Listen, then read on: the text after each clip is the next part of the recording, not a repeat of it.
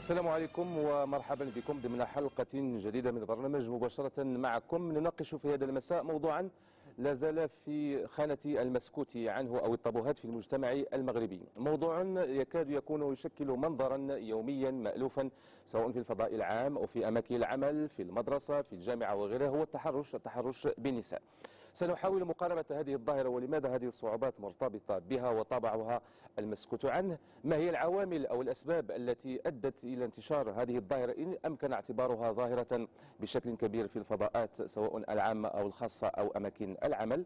كذلك آثارها سواء الاجتماعية والاقتصادية والنفسية سواء على الضحايا أو على المجتمع بشكل عام. وكذلك الحلول والمقاربات القمينة بالحد من هذه السلوكات المشينة ودور مختلف الأطراف مدرسة أسرة إعلاما دولة وقانونا ومجتمعا مدنيا في هذا الصدد. قبل الخوض في النقاش أفسح المجال لحسين الزيق المكلف باستقبال أسئلتكم وارتساماتكم وتعليقاتكم على محتوى النقاش. حسين الزيق مرحبا. مرحبا جماعة مرحبا مشاهدينا الكرام. إذا هذه نافذة تواصلية الغرض ديالنا هو يكون واحد التواصل بيننا وبين المشاهدين. تفاعل كبير بيننا كذلك وبين المشاهدين والمشاهدات اللي كيتبعوا البرنامج.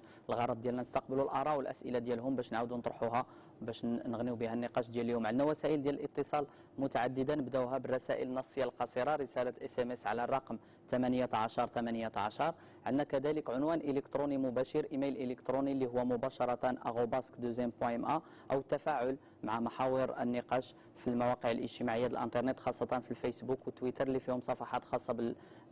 البرنامج كما هو واضح بأسفل الشاشة. الغاية ديالنا هو نستقبلوا هذه الآراء هذه ونعاودوا نطرحوها على ضيوف حلقة هذا اليوم فقط مع ذكر الاسم والمدينة. شاركونا نحن في انتظار مشاركتكم. شكرا حسين شكرا لكم المشاهدين الكرام. لمناقشة هذا الموضوع يسعدني أن أرحب بكل من سيدة خديجة الركاني محامية وعضو الجمعية المغربية للدفاع عن حقوق النساء. مرحبا بك.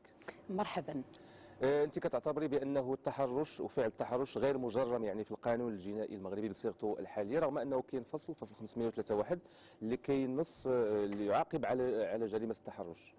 آه، بداية شكرا على الدعوة وكذلك شكرا على اهتمام البرنامج بالحضور النسائي فيه. دي ملاحظة كنسجلوها على البرنامج مؤخرا. الموضوع ديال اليوم هو مهم جدا هو شأن مجتمعي هو يهم الجميع ولكن إلى أي حد القانون باعتباره هو الآلية اللي كتحمي الحقوق ديال النساء والحريات والحقوق ديال جميع المواطنين والمواطنات تيحمي النساء من التحرش الجنسي. هناك فصل فعلا يجرم التحرش الجنسي ولكن آه، في إطار واحد العلاقة محددة. كنتمنى أن الحلقة ديال اليوم أننا نعرفوا فيها أكثر الموضوع أو الفعل ديال التحرش الجنسي أو جريمة التحرش الجنسي وكذلك نناقشوا الإشكالات الحقيقية والعميقة المرتبطة بموضوع التحرش الجنسي سواء كفعل من حيث التعريف ديالو أو انعكاسات ديالو الاجتماعية أو الاقتصادية كيف ما قلتي وأيضا في ارتباط ببلد له دستور جديد وحسم في آه، اختيار مشروع آه، مجتمعي ديمقراطي حداثي اللي كيحترم الكرامة ديال المرأة ويقر بالمساواة بين النساء والرجال خاصة المساواة في الحقوق المدنية لأن المس بحق النساء في السلامة ديالهم وفي الأمن ديالهم وفي الصحة ديالهم الجسدية والنفسية هو مس آه، بجوهر حقوقهم المدنية المنصوص عليه في الدستور. شكرا أستاذ الركاني. كنرحب بسناء العاجل الكاتبة والباحثة. مرحبا بك. بارك الله فيك جماعة مجموعة الآراء اللي خصوصا التفاعل يعني مع موضوع النقاش في المواقع الاجتماعية تشير إلى مسؤولية الفتاة أو المرأة من خلال ملبسها ولا شكلها يعني في فعل التحرش. أنا غادي نقدر نعكس الايه ونقول لك آه، السبب فعلا هو اللباس حتى الولاد ملي كيلبس شي دجين مزير وكيبين المفاتين ديالو ولا كيلبس قميجة والصدر ديالو محلول حتى لهنايا يمكن البنات حتى هما كما الغريزة راه كاينة عند الرجل راه كاينة عند المرأة. اذا حتى هما يقول لك أنا بسبب اللبس ديال الراجل ما كنقدرش نقاوم وكنتحرش به. اذا المسألة كون كانت عندها علاقة باللباس غادي يكون نفس نفس الإشكالات اللي مطروحة في بلدنا. المفروض أنها تكون مطروحة في جميع البلدان في حين أنك تلقى واحد البنت لابسة واحد اللبس معين ونفس اللبس غادي تمشي به لواحد واحد المجتمع آخر وما كتعرضش للتحرش. إذا المسألة ما مرتبطاش باللبس بقدر ما هي مرتبطة بذهنيه وخلفية معينة اللي كت... اللي كتأدي لهذاك المسألة ديال التحرش. ونقطه أخرى اللي عندها علاقة بهذه المسألة الرجل اللي كيقول لك أن اللبس ديال المرأة هو اللي كيخليني نتحرش هذاك يعني أنه ما كيتحكمش في غرائزه. إيه بكل صراحة غادي نقول الانسان اللي ما كيتحكمش في غرائزه راه ماشي إنسان راه حيوان. لأن كنشوفوا غير الفروج ولا الكلب ولا هو اللي تابع الذكر تابع الأنثى وهي ما باغاش. أما الإنسان اللي عنده واحد المستوى من الوعي وواحد المستوى من التهذيب ومن التربية كيمكن لك يعبر على الإعجاب ولكن ما كيوصلش لمستوى التحرش. إلا ما كانش هذاك الإعجاب متبادل ما يقوليش اللبس ديالها هو اللي اللي كيثير لأنه هو اللي عنده مشكل في عدم القدرة على التحكم في غرائزه شكرا سناء العاجي كنرحب بالدكتور محسن بنيشو الأخصائي في الطب النفسي والعقلي. مرحبا بك. أهلا وسهلا. غنسولك بداية دكتور يعني الإنسان المتحرش أو الذي يقوم بفعل التحرش من الناحية النفسية هل هو إنسان سوي؟ فطبعا إحنا إلا خدينا المجتمعات العربية تنجبروا على أن هذه القضية ديال التحرش كان شيء عادي وهذا هو المشكل. يعني كثير من المظاهر اللي هي مرضية أو غير عادية في المجتمعات العربية تاخذ ذاك الطق على أنه شيء عادي يعني دابا معروف إلى خرجت يعني أي مراه في الشارع أو أي بنت هنا راه يتحرشوا بها من جميع النواحي. ولكن بغيت نلاحظ واحد الملاحظة مهمة لأن حاليا من ناحية النقاش ديال ما يسمى التحرش لا يكتفي مثلا فقط على التحرش ضد النساء. يعني كلمة تحرش أو لاغسيلمون مثلا هي فيها بزاف المعاني. يعني حاليا هناك ما يسمى التحرش في العمل هناك التحرش في المدرسة هناك التحرش في البيت وهناك التحرش في الشارع. إذا مفهوم التحرش الحالي من الناحية زعما العلمية هو هذا. ولذلك إذا خدينا مثلا التحرش في المدرسة معروف حاليا على أن إذا خدينا الولايات المتحدة الأمريكية 160 ألف تلميذ يوميا يتغيب عن المدرسة فقط لسبب التحرش. إذا ماشي مفهوم التحرش فقط. ذاك البنت متى تخرج الزنقه يعني راه يتغازلوا بها ولا راه يهضروا عليها ولا راه يتبعوها لأن ملي تيتبع مثلا شي واحد خرجات مثلا في الزنقه شنو تيقوم؟ تيضيق من الحرية ديالها أو لا تيقمعها أو لا تيهينها. يعني هذه الأشياء كلها داخلة في المفاهيم القانونية مثلا خلينا القانون الفرنسي الحالي اللي تينص الفصل 222 33 جوج تينص على أن التحرش مثلا في العمل يعني تقريبا هناك في فرنسا ما يزيد على جوج المليون الحالات ديال التحرش في العمل. اذا تنظن على ربما ناخذ التحرش في المفهوم ديالو العام باش لأن هناك أطفال في المدارس مثلا اذا كان بعض الأصدقاء ديالهم تيتلاهوا بهم أو مثلا تيضربوا أو لا تيقولوا أنت سمين. هذا تحرش كذلك. إذا كان في البيت مثلا الرجل تيضيق الحرية ديال الزوجة ديالو مثلا أو لا تيهينها أو لا تيقمعها فهو يعتبر كذلك تحرش. فهذا هو المفهوم يعني حقيقة العلمي الحالي ديال كلمة التحرش من الناحيه القانونية طبعا راه نشوفوا من الناحيه الجنسية كذلك. شكرا دكتور. كنرحب بالسي مصطفى بالعلي. مرحبا أهلا وسهلا. أنت أول أب أسرة وثاني المدير الثانويه هنا بالدار البيضاء. آه، تجربة كبيرة يعني في المجال التربوي والمجال التعليمي. واش لاحظت أنت من خلال هذا المسار هذا أنه هناك يعني تكاثر يعني حالات التحرش أو أنه ربما الوضع يعني ما تغيرش بزاف؟ فعلا كاين واحد التفاقم ظاهرة التحرش. لكونها ظاهرة إنسانية اولا وهي ظاهرة إنسانية اجتماعية معقدة. وبالتالي هذه العملية جعلت آه، الناس ما كيعرفوش أن التحرش راه فعل غير مرحب به. وبالتالي ملي كيدير هذا التحرش كيدير كأنه كيدير شي حاجة عادية. من هذا المنطلق تكاثرت ظاهرة التحرش. أضيف إلى ذلك كاين عناصر مهمة اللي جعلت هذه الظاهرة كتفاقم خصوصا في الوسط المغربي كنوجدوا مثلا المتحرش بها. هذه عندها واحد الخوف من التبليغ عن التحرش. وبالتالي كتجعل هذه العملية الناس كيتزادوا في التحرش كيزعموا. آه، كاين عنصر ثاني هو أن هذه القضية هي طابو. كتخاف من الفضيحة أو غير ذلك. وعنصر آخر أن اللي كتشتغل مثلا في مكان معين إذا تحرش بها الرئيس ديالها كاين واحد النوع ديال السلطة حاضرة بين الطرفين. وبالتالي عدم حدوث هذا الفارق بين السلطة بين هاد العاملة أو الموظفة مع الرئيس ديالها كيخليها تفكر أنها تبقى بداك الشكل اللي فيها باش تحتفظ على المنصب ديال الشغل ديالها والعمل ديالها. وكاين عنصر آخر اللي مهم هو هو أن الجانب القانوني ما باينش عند الناس رغم أن الدولة سنت قانون منذ 2008 كنظن ولكن بقى ما كيتفعلش علاش ما كيتفعلش لأن باش يتفعل أستاذ كنظن خص يكون الشهود ما يمكنش نعتبروا واحد العمل معين تحرش اللي ما كاينش شهود. وبالتالي هنا أشنو كيوقع هذاك اللي كيتحرشوا به أو اللي كيتحرشوا بها كيظن أن كيأس يصاب باليأس والإحباط لأنه في عمقه يظن أن لا يمكن ردع المتحرش. لأن القانون ضعيف على هذا المظاهره شكرا أستاذ كنرحب بالسيده حياة بوفراش مرحبا بك. مساء الخير. أنت رئيسه جمعية إنصاف الأسرة وباحثة في مجال التنمية الاجتماعية. مرحبا بك. مرة أخرى. شكرا شكرا أه، بغيت نسولك واش التحرش يعني مرتبط بفئة اجتماعية معينة أو أنه ربما كيهم جميع الأوساط الفقيرة غير الفقيرة المثقفة غير المثقفة؟ نعم. شكرا شكرا الأخ قول حسن. مساء الخير. مساء الخير المواطنين المواطنات في داخل الوطن وخارجه. نستأذنهم في تكسير الصمت حول هذا الموضوع. والمساهمة في التربية الجنسية الجماعية. وطبيعة الحال ما أعتقد أن آه، هذا المشكل هذا مرتبط بفئة اجتماعية معينة ولا بمستوى ثقافي معين بدليل أن هناك طبيعة الحال تحرش اللي هو مرضي.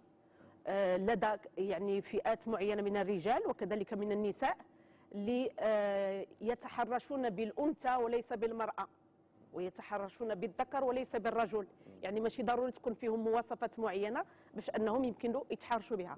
كذلك آه، يمكن القول بأنها آه، يعني كل يتحرش ب آه، يعني كل واحد كيحرص مع قرينو كل واحد كيتحرش بالناس اللي اللي في المستوى ديالو واللي في في ال- الوسط ديالو. ولكن ما يمكن أن يقال وأن كنقتسم يعني الرأي مع جميع ال- الأخوات والإخوة المتواجدين هنا هو أنه التحرش الظاهره هذه أصبحت عدوى مع الأسف متواطئ عليها اجتماعيا ومجتمعيا. ويعني ولات بحال لا كونفونسيونيل ولينا قابلينها وكنشوفوها. وكنتعايشوا عاديه مع كنتعايشوا معها مع الأسف. وبالتالي كنا آه، تحدثنا آه، خارج البلاطو أنها ظاهرة أو غير ظاهرة. أنا كنقول بأنها أصبحت ظاهرة على اعتبار أن الظاهرة الاجتماعية تعرف بأنها عندما يعني يصدر سلوك معين من طرف جماعة تجاه جماعة معينة. ويتكرر في الزمن والمكان. ويتكرر في الزمن والمكان ولكن تكون الجماعه معينة هي اللي كتقوم به. وتجاه جماعة معينة أحيانا كتعاني منه. الظاهرة الاجتماعية تصبح مشكلة اجتماعية ونحن بصدد مشكلة اجتماعية عندما تنعت من طرف المجتمع بأنها مشينة أو بأنها سلبية. كالمخدرات كالدعارة إلى آخره.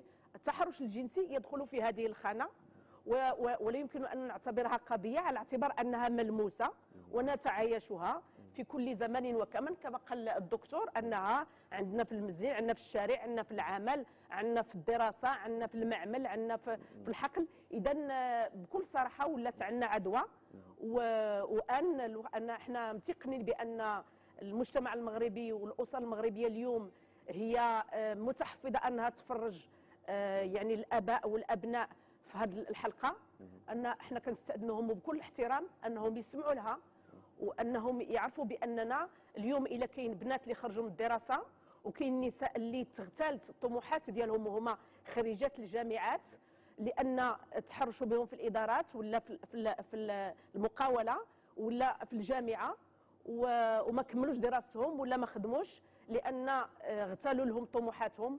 فلأن آه، التربية الجنسية ولأننا كنسكتوا على ظاهرة إحنا كنشوفوها وكنتعايشوا معها طيب هذا كيجرني السؤال الأول وبغيت رأيكم فيه كله إنه كما قلتي الأستاذة يعني هناك يعني ظاهرة يعتبرها المجتمع في عموميته يعني ظاهرة مشينة مزيانه شوية. ولكن في نفس الوقت يعني كتشوفوا مناظر يعني على الأقل بشكل يومي وبشكل عادي وبشكل أصبح يعني واحد التطبيع. فكيفاش ممكن نفسروا هذه الازدواجيه انه سلوك يدان ولكن سلوك يمارس بشكل بشكل بشكل يومي. خديجة. فعلا هي الأسباب آه، متعددة ولكن بداية كنبغي نشير وكنبغي نأكد على أن فعلا التحرش الجنسي في المغرب هو ظاهرة. ظاهرة طبعا طبعا آه، لي سوسيولوج هم اللي خصهم يأكدوها ولكن آه، يمكن نعتمدوا على معايير بسيطة جدا.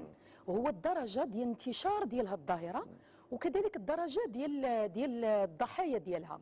فعلا كنلاحظوا على أنه مثلا هذه مدة كان ممكن التحرش كيتمارس في الخفاء.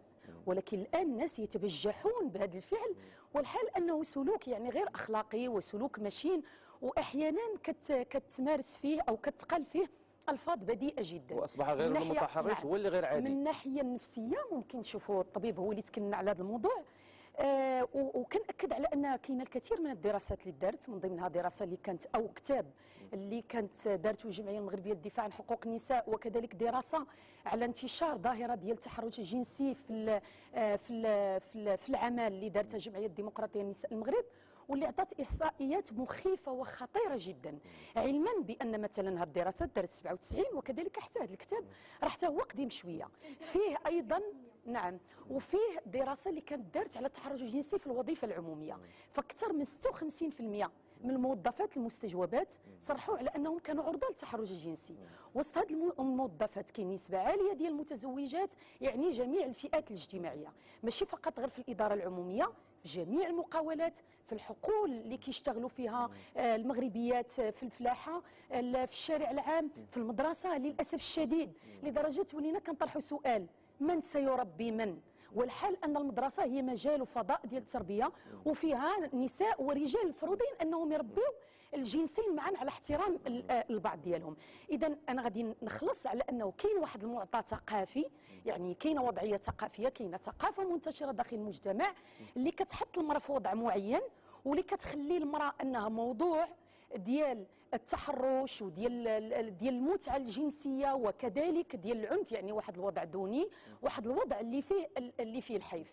كاين جوانب أخرى. يمكن كاين جوانب تربوية هي داخل في الجانب الثقافي ولكن غادي اللي نبغي أنني نشير هو. الجانب القانوني لأنه مهم جدا. غادي غادي نوصلوا غنوصلوا يا سيدي الركاني غنوصلوا غير باش ندوزوا من نقطة بنقطة. نبداو بهذه القضية ديال الازدواجية وديال الصعوبة يعني مسكوت عنه وكنقولوا مشين مدان ولكن في نفس الوقت كاين. علاش هذيك؟ المساله إلا سمحتي جمال القضية ديال مش مدان ولا فيها نظر. لأن مثلا الأغلبية ديال النساء ملي كتكلم معاهم على الموضوع العبارات اللي كيقولوا مهم أننا نحاولوا نفهموها. دائما المرأة غالبا كتكلم على البسالة. البساره ديال الدراري. يعني بحال غير شي حاجة خفيفة. آه تكلمتي على الدراسة ديال لا دي لا- الجمعية الديمقراطية لحقوق المرأة. في 2008 الأرقام اللي خرجوا أكيد الأرقام غادي تكون افظع دابا أعتقد. 76% من النساء المغربيات كيتعرضوا للتحرش الجنسي يوميا في الشارع. ولكن الرقم اللي شوية كيضحك هو أن 33% ديال الرجال اللي كيتحرشوا كيعتبروه سلوك عادي. يعني الثلث فيهم شوية أكثر من الثلث ولا ثلث و50% ديال الرجال كيعتبروها راه شي حاجة مزيانة. كيقول لك لا المرأة راه كتبغي نقولوا لها شي كلمة زوينة.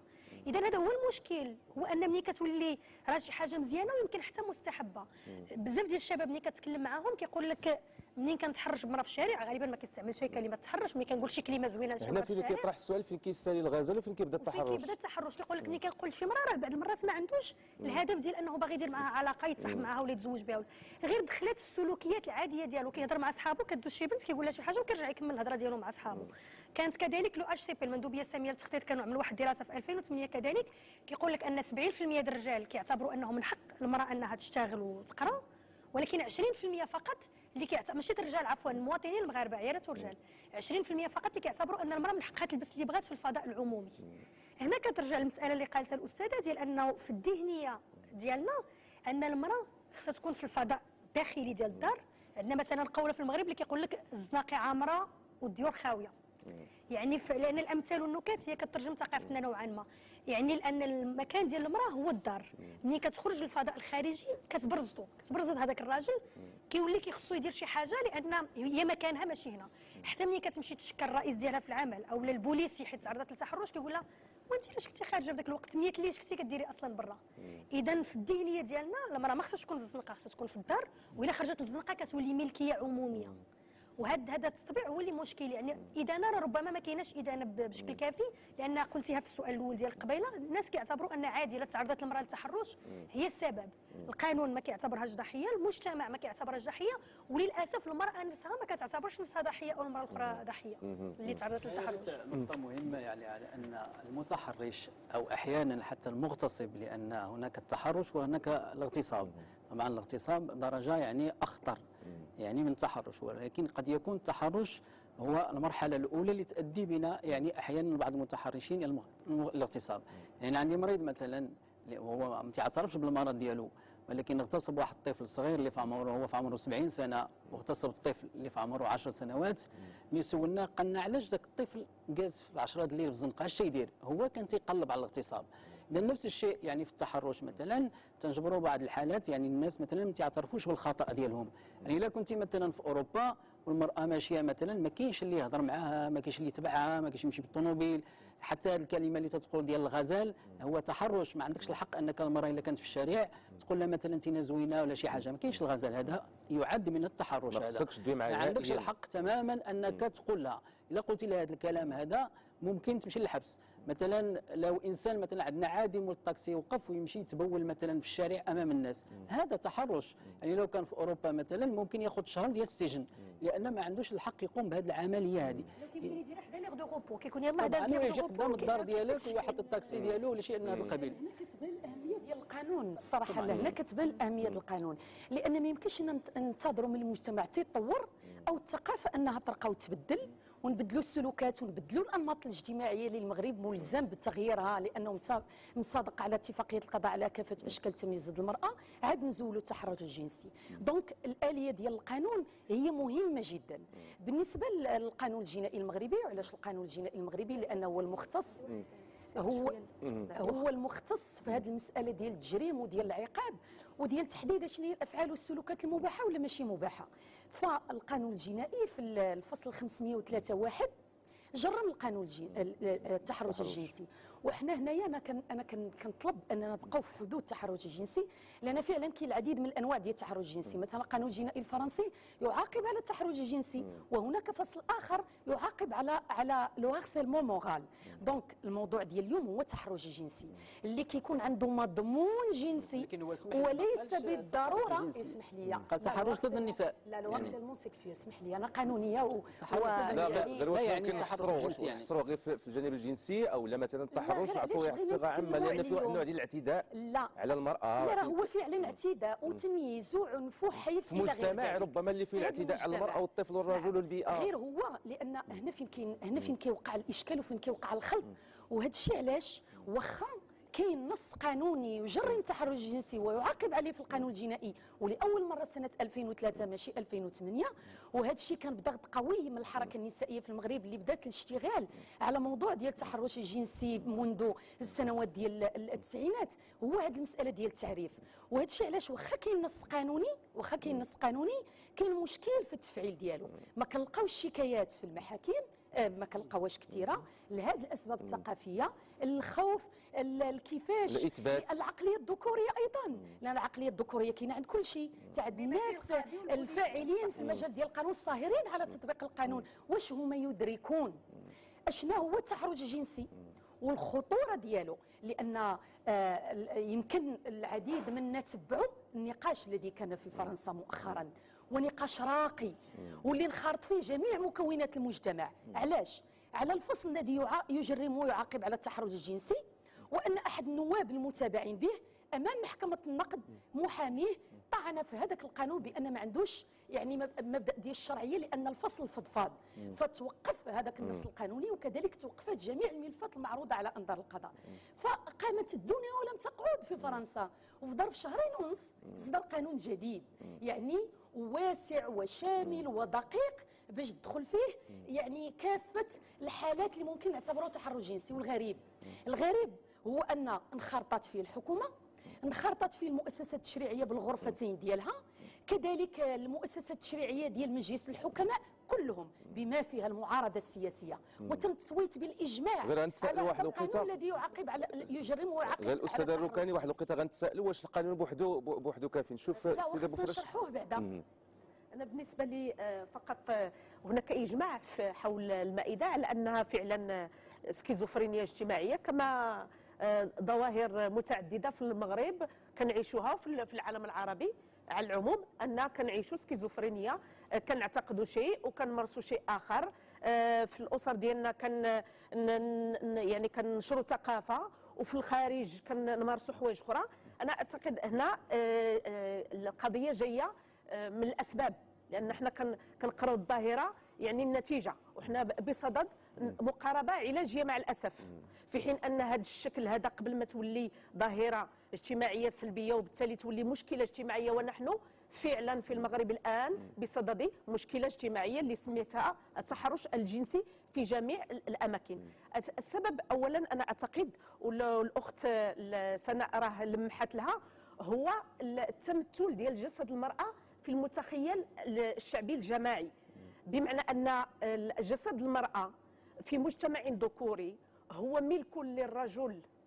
الرجل الأب الأخ الزوج اللوس الخال العم وبالتالي هو كيعتقد بأنه عنده وصاية على جسد المرأة. فقط المرأة لا يمكن أن تستأمن على جسدها وهي صاحبة الشأن. وبالتالي ملي كتكون خارجة تسخر ولا خارجة تسافر دي معك خوك دي معك ولدك. انت ولدت انت ولدتيه وربيتيه وديه معك علاش باش يحضيك؟ اولا باش يحدك انت لأن انت لا تستأمني على الجسد لأن فيه خطورة بحال بحال واحد une bombe يعني هزها معك يمكن لها يمكن لها تنفجر في أي وقت وثانيا لا يستامنوا يستامنوا الشارع على هذا الجسد اللي هو خارج. فاذا هذا هذا الجسد اللي هو في الذاكرة الذكورية والذاكرة المجتمعية ككل اللي هو آه، ملك مشترك. وبالتالي من المرأة ملي كتخرج للزنقه كتسخر ولا كتقضي الأغراض ديالها ولا إلى آخره. عندما منين رجل آه، كيعجبو ذاك الجسد وكيلمح لها آه، باللفظي مباشرة لأن ما بقيناش حنا في غير اللفظي دابا. ربما كاين في أماكن أخرى الغير لفظي والتلميحات إلى آخره في مستوى أرقى. ولكن في الشارع مباشرة اللفظي. مني ما كان ما كنتجاوبش معاك وما كنستجبش للرغبة ديالك الآنية والنزوة ديالك لأننا عجبتك شنو كيوقع؟ كندوزو للمرحلة الثانية وهو الاعتداء والعنف. ومن هنا إلى عنف. العنف الجسدي في الفضاءات العمومية. بمعنى أن أنت ما بغيتيش تستجب لي لأن أنا في اللا شعور ديالي ذاك الجسد راه قالوا لي ملكي. من التربية قالوا لي ذاك الجسد أنا وصي عليه وبالتالي إذا اش كيوقع؟ وهنا كنفسروا الظاهرة دابا باش المغاربة حنا كنهضروا خوت وحباب يعني في في في- الفضاء ديالنا وحنا آه، كنشتركوا واحد المجموعة ديال ديال المسائل. هنا كنفسروا القضية ديال السيد اللي آه، ذبح في الليلة ديال العيد الخطيبة ديالو من الوريد إلى الوريد. لأنها رفضته ولا لأنها آه، رفضته بطبيعة الحال جسديا. كذلك ال- ال- ال- الشاب الذي آه، آه، يعني قام بإحراق يعني السيدة ال- الخطيبة ديالو كذلك أمام ولا غير بنت من الشارع أمام ال- ال- الثانوية. فاذا هذا هذا المعتقد. وبالتالي فالقضية اللي قالت الأخت أن هناك تحرش جنسي اللي كيتسمى البساله الدراري. كاينة ولكن قدام الثانوية قدام المركز ديال التكوين المهني في الجامعة يعني بين الزملاء كيكون واحد الشاب اللي شوية زعيم كيتسمى le coq du groupe.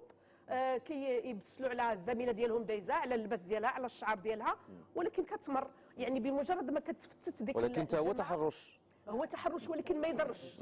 التحرش اللي خصو يتجرم والأستاذ من بعد غادي يزيد يشرحها. ال- القضية اللي خصها تتجرم هي ال- التحرش في الإدارة. ملي كان في الإدارة ذاك وفي- مقرون- مقرون وفي بالسلطة. المقاول وفي المقاولة يعني هاوليك مع الشارع ماشي لا، مشكل المدرسة والجامعة الزملاء واحد. الزملاء ديالي لا واخا في واحد في السن السن. من هذاك السن فاش. كيبداو أستاذ لأن من هذاك. السن لأن هذاك اللي كيقرأ في. المدرسة هو اللي غادي يكون موظف ولا ولا باترون ملي كتغتال لي الحلم ديالي أنا كيقولوا لي ملي كتكون صغيرة كيقولوا لي شوف قراي مزيان وراه الا صبرتي في العمل وكنتي نازيهه وكنتي مجده راه غادي ترقي وعندك عندك وعندك المعنويين وأنا غير نكمل الفكرة عافاك غير نمرر الفكرة لا لا سنه غير نمرر الفكرة ونقبل غير نمرر الفكرة عافاك لا لا ماشي هذه هي الفكرة ديال ديال الزملاء انهم يتبسلوا على بعضياتهم لأن تما كيتربوا ربما على التحرش كيترباو هذه الصورة هذيك البنت اللي عندها 17 عام ولا 20 عام هذه هي عندها كرامتها واستقلاليتها تجدر عنده شنو اللي غيمنعوا شنو اللي غيمنعوا من بعد أنه ما يتحرش مثلا بالأستاذة ولا بالمعلمة ولا بالمديرة ولا لأن أنه كيتغزل لا اتحرش ما كيتحرش. كيتغزل لا لا هذاك هذاك التغزل في كيسالي غير سيدي أبو فراش في كيسالي التغزل في كيسالي التغزل كيبدا التحرش مثلا شاب مغربي قال سبه مغربي بصح القميجة. هذا لا، بدا لا، هذا لا، لا. جامع. ما خصوش يهضر معاه نهائيا. تلبس ولا قبلت- تلبس ولا دير لا لا خديجة. ماشي قبلت ولا ما قبلتش؟ يعني هذه مسا- مسائل يعني آه، مظهرية بسيطة يعني بين بين الزملاء في المدرسة. ولكن راه تما كيتكون بنادم. هنا كتكون. ولكن أنا اللي التحرش اللي في الحقيقة خصنا نوقفوا عليه واللي هو كيكون مشكل حقيقي. هو التحرش في اللي لأنك فيه سلطوية. المهنه والعمل والمقاوله عافاك الحديث في المرأة المغربية اليوم ما كتقدرش تخرج في الشارع مازال ما وصلناش للشارع لا كنهضروا مازال غير الإدارة والمهنه لا والمقاولة. الإدارة فيها تحرش ولكن راه الشارع متفقين. المرأة اليوم اللي تكلمتي معها اللي عندها شوية ديال الإمكانيات وقادرة تكون عندها الطوموبيل كتقول لك واخا نخرج نسخر غير قريب صحيح. خصني نهز الطوموبيل كتنقص. لا إمكان لي كورس ديالها متفقين كتخص معك. يخرج مع خوها ولا راجلها نعم. الفضاء العمومي اليوم ولا صعيب؟ شحال هادي بعدا ك- ك- كان؟ غير في ذاك الحومة. كيكونوا داك راه عندها الأمان ديالها في الحومة ديالهم ما غادي تبسل عليها. اليوم الفضاء اللي العمومي عنده اللي عنده اللي عنده مخلفات اقتصادية اللي هدرت عليها. هذا كبير هذا كبير. هذا هو اللي كبير واللي عنده وقع على المجتمع. اسمعوا. السي بالعلي الاطار الإزدواجية. كنستحضر آه، سميتو السوسيولوجي المغربي عبد الصمد الديالمي. وكيعتبر أن التحرش في الشارع عبارة عن معاكسة كيسميها معاكسة. وبالتالي لا ترقى إلى التحرش في مقر العمل أو في الجامعة أو في المؤسسه التعليميه وهذه المعاكسة تنتهي عندما يكون رد الفعل. بمعنى إذا كان رد الفعل ديال الفتاة أو المرأة ضد المتحرش قد يكون رد فعل عنيف أحيانا. وبالتالي هنا يعني كاين واحد النوع ديال الانا عند هذا يعني دخلنا في قضية. الرضا أم عدم الرضا؟ لا ماشي رضا عن الرضا. وإنما إذا كانت عندها قوة وعندها رد الفعل قوي غترضى عندك المتحرش وبالتالي هنا ما كاينش ديك علاقة السلطه علاقة السلطة كتكون في العمل. في العمل. خوف من فقدان العمل خوف من التعثر الدراسي خوف من الرسوب كل هذه العوامل كتجعل هذاك المتحرش به أنه يكون في دونية بالنسبة للآخر. آه، التنشئة الاجتماعية والتربية ضرورية لأن هي عبارة عن تحصين للشخص كما كان. بنوصل يا سلمي غير غنذكروا على نشير الحلول. هنا بغيت نشير هنا بأن علاش المرأة بالضبط؟ لأن الرجل لا خوف عليه. لأن بطنه لا ينذر بالكوارث. خلاف المرأة. وبالتالي على هذا الاساس تجيب الحياة؟ كيفاش بطنها لا يندير بالكوارث؟ ماشي ماشي بطنها. بطنه. بطنه لأنه هذا الشخص ما, ما غاديش يخاف عليه باه تيقول لي أنا عندي راجل وبالتالي هذه العملية هذه كتخلي دير الكوارث وانت ما عندكش ماشي مشكل. اسمح لي يعني باش يعني ما نخرجوش عن النقاش حقيقة لأن الأشياء يجب أن تكون يعني علمية واضحة لأن ما هناكش تحرش جائز وتحرش غير جائز. ان مثلا إلا خديتي الطفل الصغير الطفل الصغير ما تعرفش حتى التحرش. يعني ممكن يجي واحد كبير يقبله مثلا أو لا يلمسه هذا تحرش. أو لا يرويه مثلا واحد الصورة ديال ال pornographie. أو لا حاليا هناك مثلا حتى التحرش ب les SMS هناك حاليا التحرش مثلا في الفيسبوك هناك التحرش بالسيبر. يعني عدة أشكال. ولذلك يعني التفسير العلمي على أن التحرش هو يعني عمل أول يجب أن يكون متكرر وفيه منفعة الناحية الجنسية المتحرش. اذا هذا والقانون مثلا خدينا القانون الفرنسي يعني هو تيعاقب على حسب التفسير العلمي. فهناك التحرش مثلا في العمل اللي هو خالي من من الناحيه الجنسيه يعني ممكن مثلا القانون الفرنسي تينص على أن إذا كان صاحب المعمل مثلا يعني تيسوء ال- ال- الحقوق ديال العامل ديالو تيسوء المستقبل ديالو تيسوء تي- تيقلل من القيمة ديال العامل هذا هو المفهوم الحالي ديال التحرش في الغرب.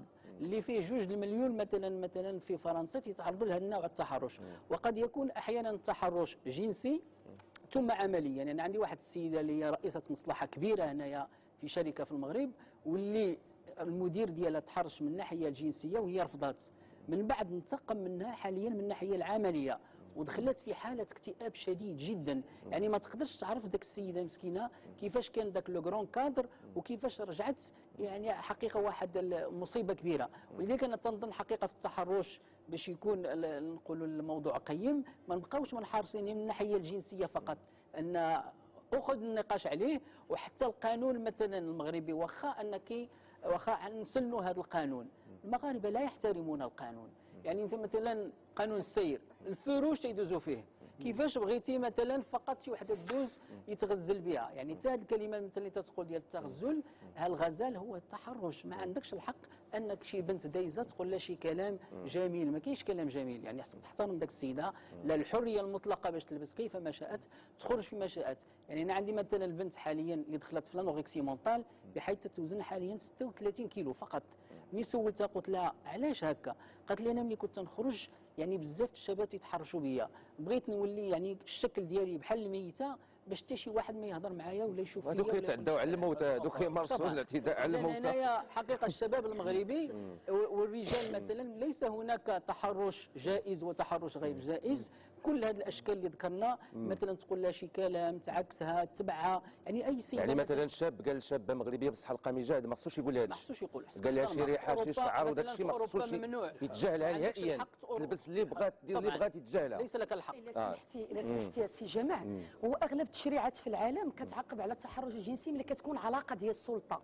ما بين الطرف المتحرش والطرف في المتحرش الشارع العام. ما كاينش السلطه آه لا. آه قلال هي الاستقلال هي الدول.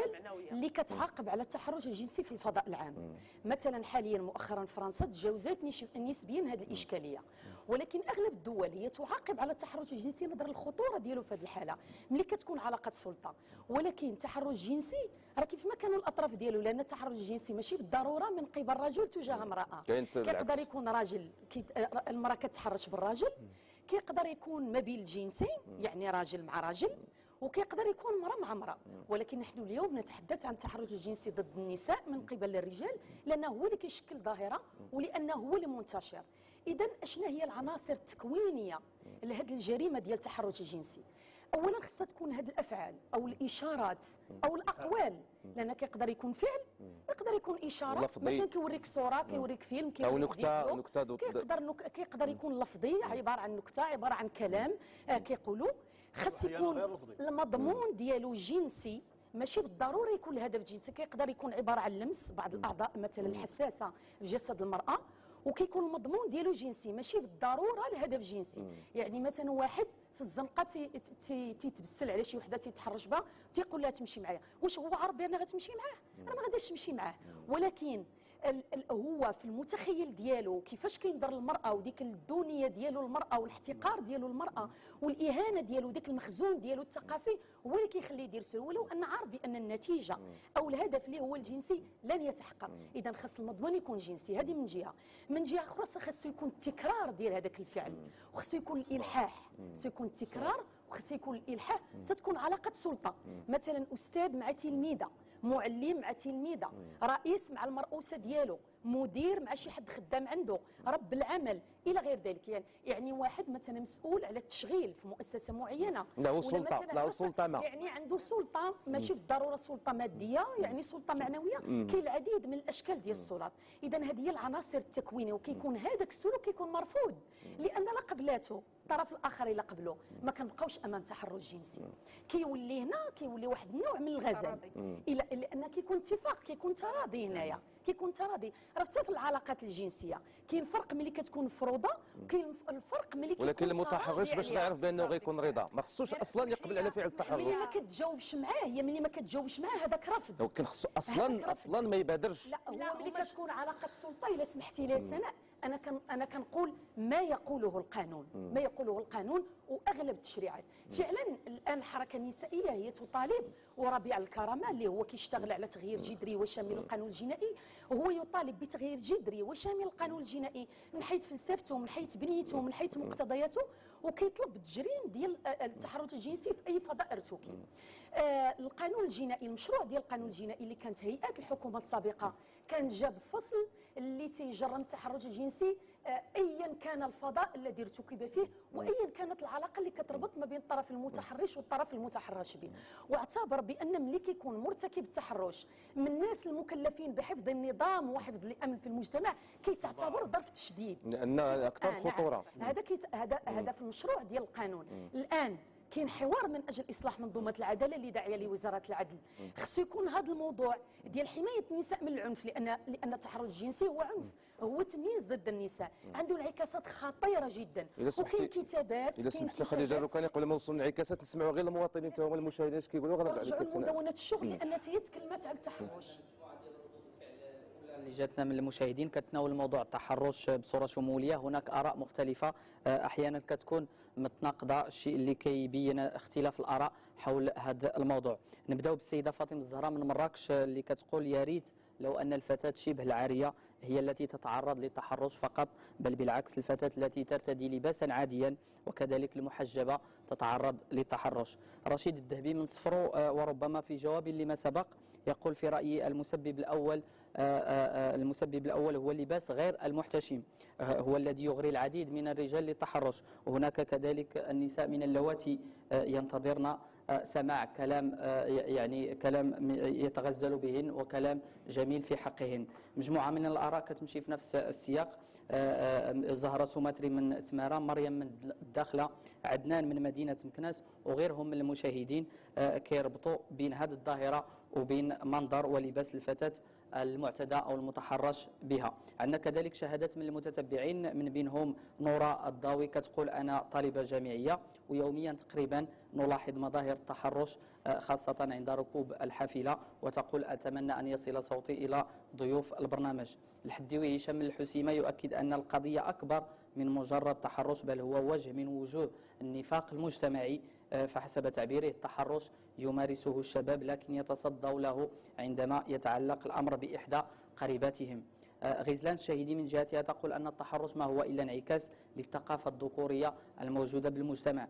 آه، حسن أيت بالله من القنيطرة بعث برسالة مطولة من بين أفكارها أن التحرش نتيجة للتربية التي تعتبر الجنس من الطابوهات ومن المسكوت عنه. ننهي بسؤال موحد جاب صياغات مختلفة من المشاهدين منهم فاطمة من طنجة أنس مكاوي من الرباط لبنى من مدينة أكادير وغيرهم كيتساءلوا لماذا لا نرى قوانين صارمة لمعاقبة المتحرشين وما هي الإجراءات الاجتماعية والتربوية للتعريف بهذه الظاهرة اللي أرقامها بدأت كترتفع بشكل مهول. سؤال آخر من أحمد صبار من إقليم قرسيف يقول لا يمكن اعتبار التحرش ظاهرة اجتماعية لسبب بسيط هو أننا لم نشهد يوما محاكمة شخص معين بتحرش بفتاة أو امرأة بعكس الاغتصاب باعتباره مظهر آخر للتحرش الجنسي ما قول ضيوف البرنامج في هذه النازلات. يعني نتابعوا غادي نتابعوا كذلك بعض التصريحات ديال بعض المواطنين المغاربة من شرائح مختلفة هي عينة ماشي علميه عينه فقط عشوائية. طرحنا عليهم الأسئلة المرتبطة بهذا الموضوع. استقاها الزميلان مكاوي والخديري نتابعوا التصريحات ونطلب منكم بعد أنه تعقبوا عليها.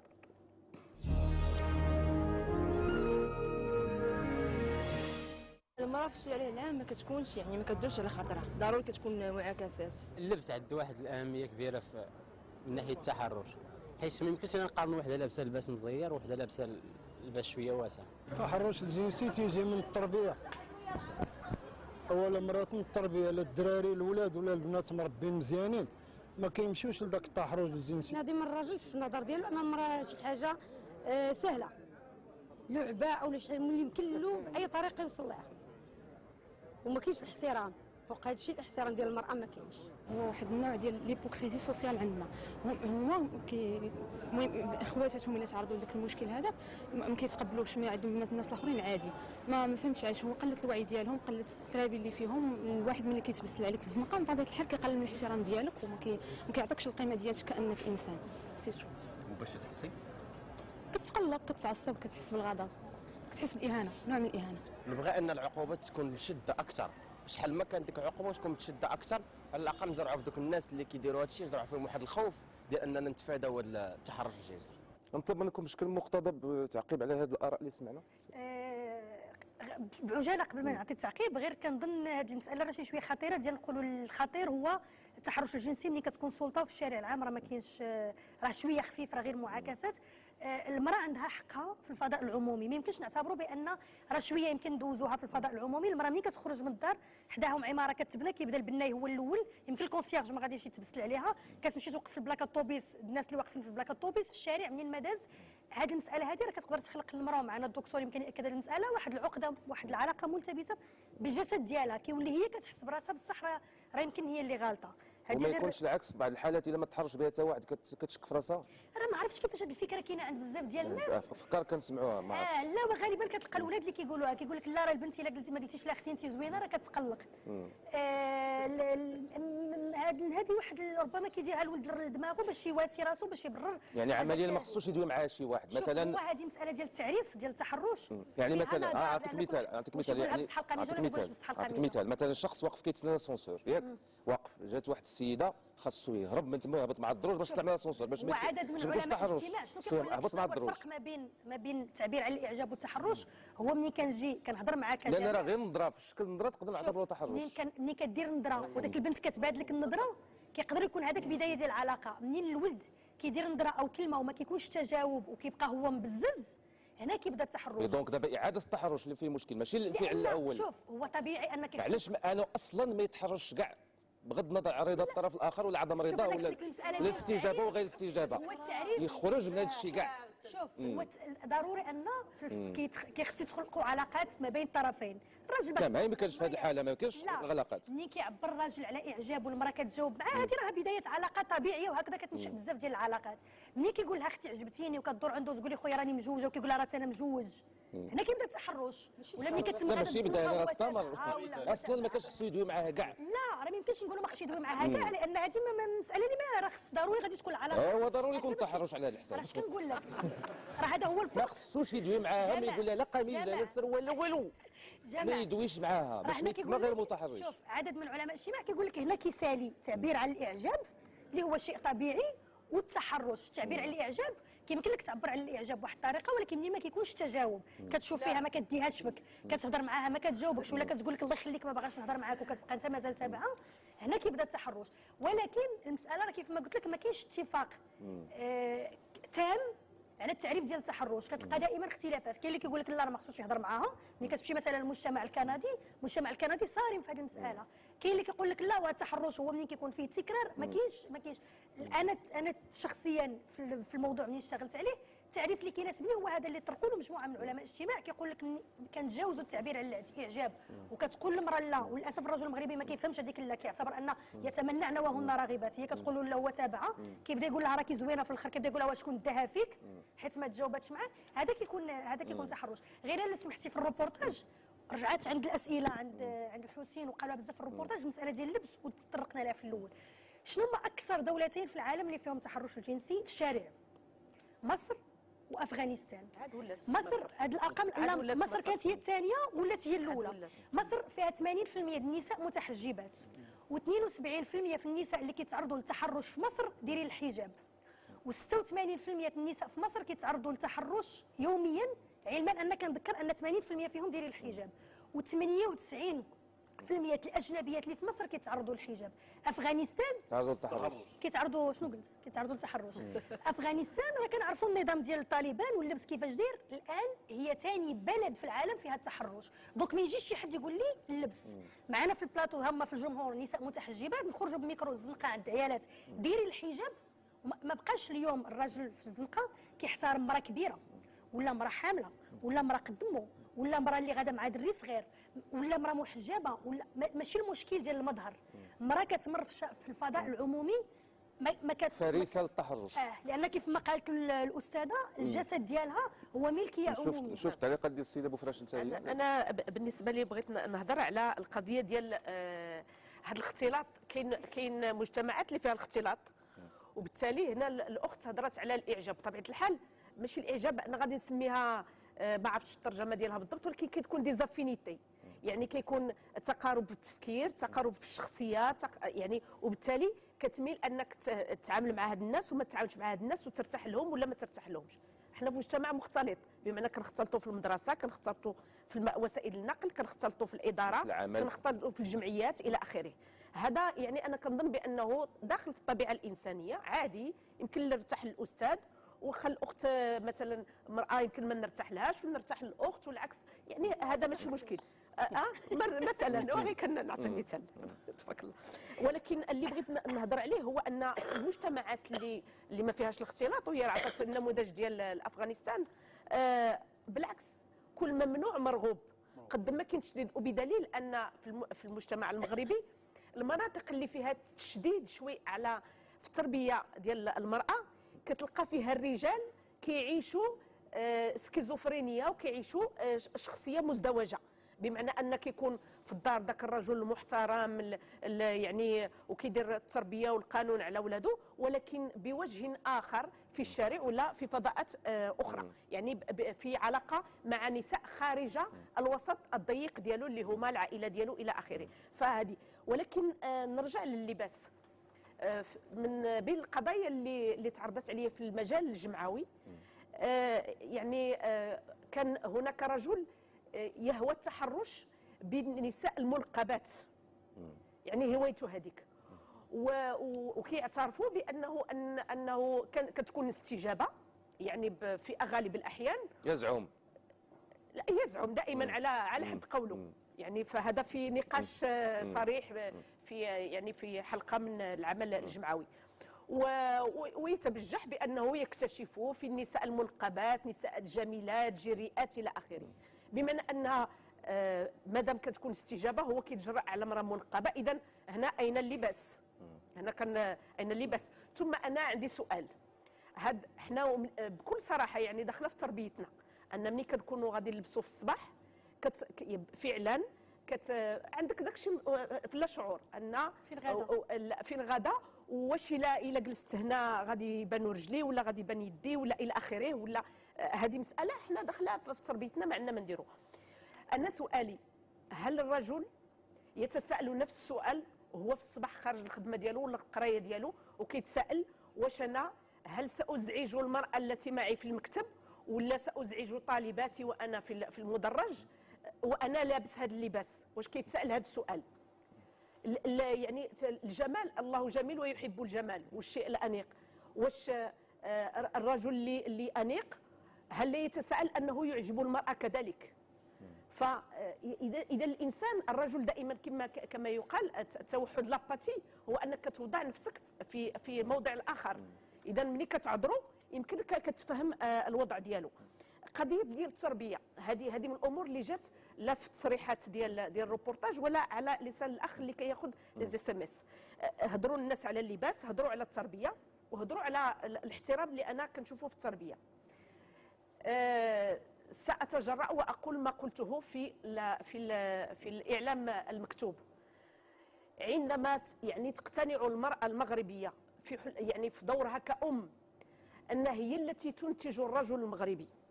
وأن الاختلالات والأمراض الاجتماعية بصفة عامة اللي موجودة في الشارع يعني عندها واحد الجزء كبير من المسؤولية. هي التي تمرر التربية وهي التي تمرر القيم وهي التي تفرض شخصها في منزلها كيحترموها ولادها وكيحترمها رجلها وكيحترموها الذكور المحيطين بها.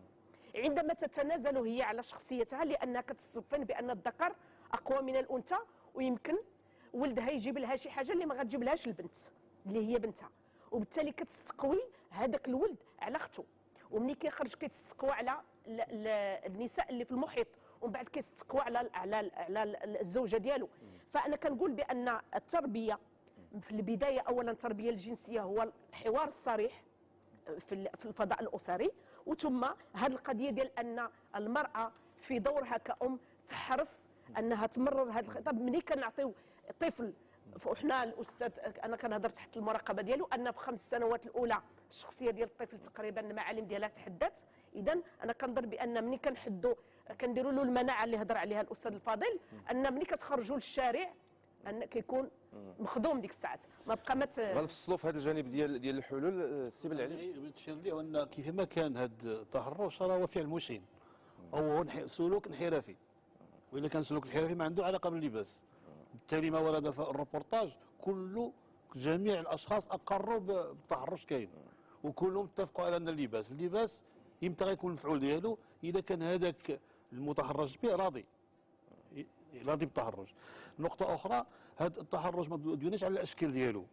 ولكن أشكال كاين التحرش غير اللفظي الغير اللفظي هو الإيحاءات. كاين. إيحاءات ويصفر ولا شي حاجة بحال هذا راه كاين وكيعطي وهذا خطير أيضا بالنسبة للمرأة. آه، نقطة أخرى. هاد العملية هي كيبان لي فيها أنا واحد تفرقة عنصرية. كأننا نتحدث عن جنسين مختلفين. الرجل والمرأة جنسين مختلفين. وبالتالي هو تفرقة عنصرية بين الجنسين. وعمل يكاد يستأسد فيه الرجل على الغير اللي هو المرأة وهنا أريد أن أشير أن نسبة المتح... الذين النساء اللي تحرشوا بهم أغلبية بحال اللي قالت الأستاذة أغلبية محجبات. في مصر راه 80% في المغرب عندنا أكثر من 50% تقريبا. حسب بعض الإشارات في الإنترنت. شكرا. لكن أظن يعني أنا يعني اللي جاء في الروبورتاج حقيقة يبين المتحرش مثلا يجد دائما أسباب. يعني هل هي مثلا هي هي تستاهل هي خرجت عريانة هي مربية المحاسن زعما بين المحاسن ديالها. لأن من ناحية نفسية المتحرش تيقدر أنه هو براسه ما عارفش أنه تيتحرش. هناك شخصيات مثلا الا خدينا في المغرب عندنا فيما يخص مثلا المخدرات تقريبا واحد على أربعة أو واحد على خمسة من الشباب مدمنين. يعني نسبة خطيرة جدا تكاد تكون من أكبر النسب يعني في- العالم. وهذا الم- المدمنين من الطبيعة ديالهم التحرش. يعني عندهم شيء عادي أنه يتحرش لأن سواء تكون هو واعي أو في دون وعي يجب أن يتحرش. هناك بعض المناطق مثلا في الدار البيضاء ممنوع المرأة تدوز ولا دازت يغتصبوها ماشي يتحرشوا بها يغتصبوها تماما. هناك كذلك بعض الشخصيات اللي ما يسموا les coureurs de jupons يعني أنهم الطبيعه ديالهم تيتبعوا العيالات وحصهم يفسدوا في العيالات. وهناك بعض الرجال كذلك اللي عندهم بعض المفاهيم خاطئة واللي تيظنوا على كل امرأة هي فاسدة ولذلك تستحق يعني ما يسمى التحرش أو حتى الاغتصاب.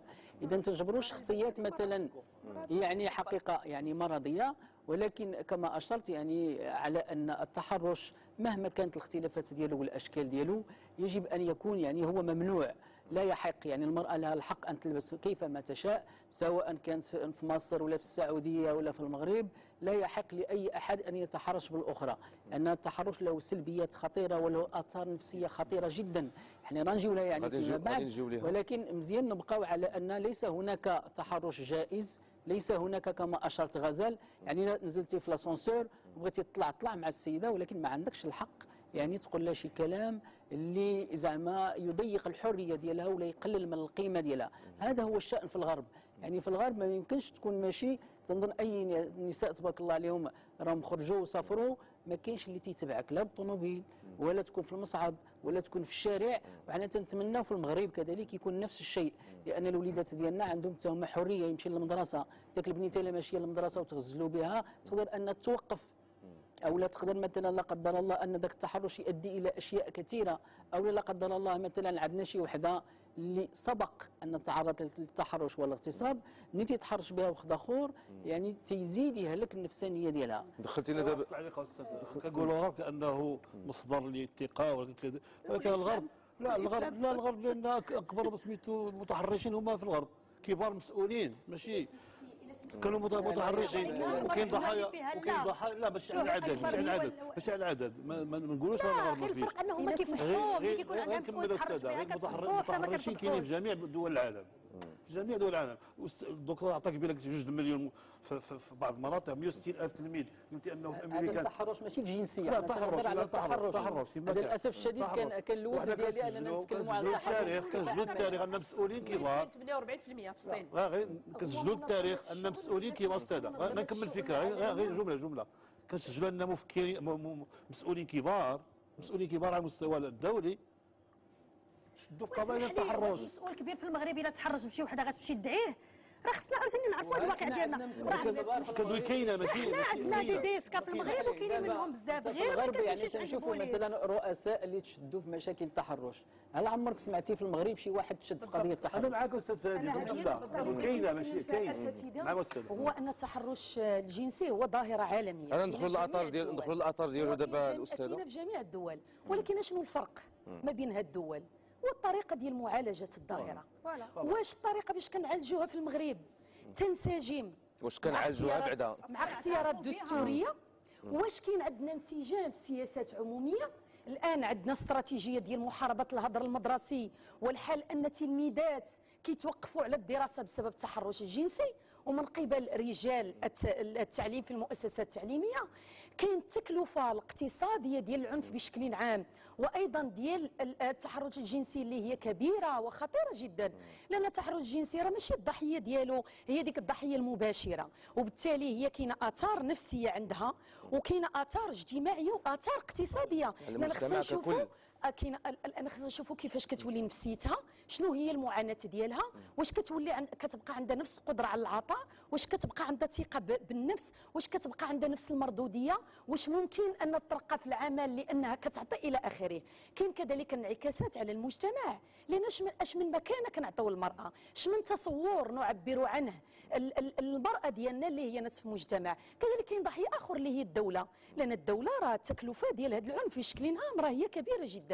وهذه التكلفة ديال العنف الاقتصادي والإجتماعي اللي أكدت عليها كثير منظمة آه، المنظمة ال- ال- العالمية. للشغل وكاينه في تقارير كثيره يعني حديث آه، مفصل ودقيق حول هذا الجانب هذا. أنا كنبغي نرجع للجانب القانوني باعتبار أنني قانونية باش ما نخليوش فيه واحد النقص. هو القانون الجنائي صحيح أنه جرم هذا الفعل ديال التحرش الجنسي ولكن حدد العناصر لأن حدد العناصر اللي قلت بأن هي التكرار الضغط الإكراه ال- استعمال واحد المجموعة من الأساليب كيكون المضمون جنسي كتكون علاقة سلطة إلى آخره. ولكن المفعول ديال هذا القانون هو ضيق.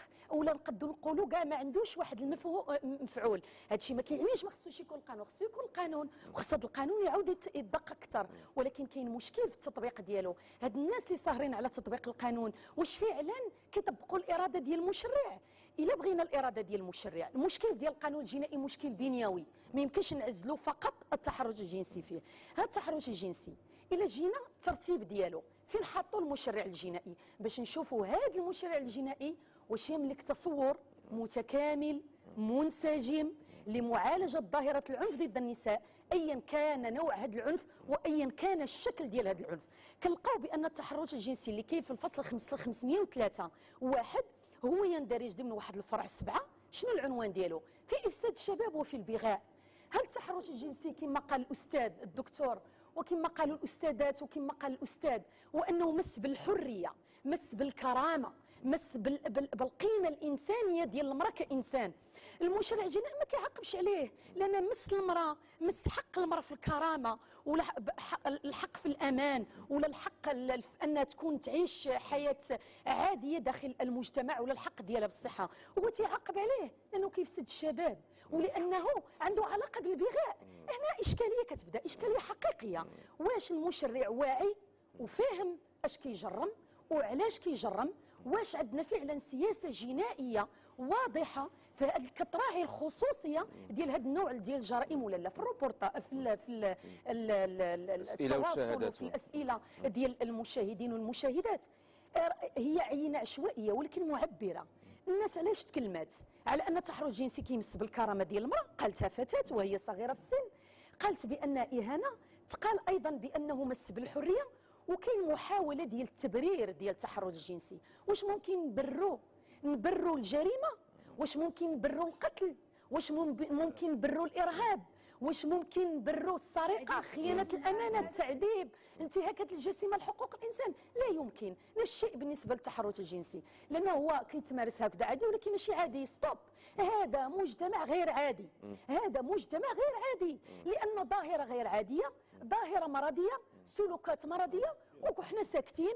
لا مشرع يتدخل ولا حكومة تتدخل بشكل ناجع ولا طبقة سياسية تقف كما وقف الطبقة السياسية والمشرع مؤخرا في فرنسا ونتعيش ولي ديغا يعني وال- وال- وال- والخسارات هي كبيرة والآثار. جدا. إذا سمحتي لي غنمشي لمدونة الشغل مدونة الشغل اللي كانت صدرت سنة 2003 بتوافق ما بين الباترون وما بين النقابات الركان يعني كتقول؟ بعلاقة التحرش الجنسي. فعلا لا. في في لا الم- لا غير سمحتي لي قضية قبل ما ما نفصلوا في الموضوع لأن خص عندنا واحد الروبورتاج اللي كيتناول هذا هذا السلوك يعني التحرش اللي ربما ربما كلنا متفقين بأن الخطورة ديالو أكثر في أماكن العمل لأن كاين مقرون يعني بواحد الجانب ديال السلطويه من رب العمل ولا رب رب يعني الإدارة ولا رب المقاولة. نتابعوا هذا الروبورتاج اللي فيه شهادات وفيه كذلك مواقف بعض الفاعلين في المجال يعني ديال التحرش وفيه الجانب القانوني ديال النقاش الدائر حول المواثيق يعني أو يعني المقتضيات القانونية اللي كاينة في القانون الجنائي المغربي اللي كتجرم هذا التحرش الجنسي. نتابعوا الروبورتاج من إنجاز أحمد مكاوي والزميل محمد الخديري.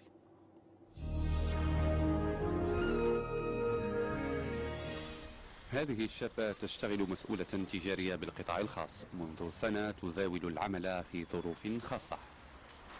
تعرضت للتحرش جنسي من طرف آه، المدير ديالي. آه، كان عطلني في الخدمة ومن بعد اقترح عليا باش يوصلني بالطوموبيل. آه، وفي هذاك le trajet تحرش بيا vraiment directement. أنا حاولت نرجعو للمكان ديالو ونحدو من بعد آه، ملي فهم que ما ما تكون حتى شي حاجة ولا كيدوز ليا من ولا كيتحرش بيا مورالمون في الخدمة. هنا بإحدى النقابات تحضر هذه السيدة لمتابعة شكاية ضد مديرها.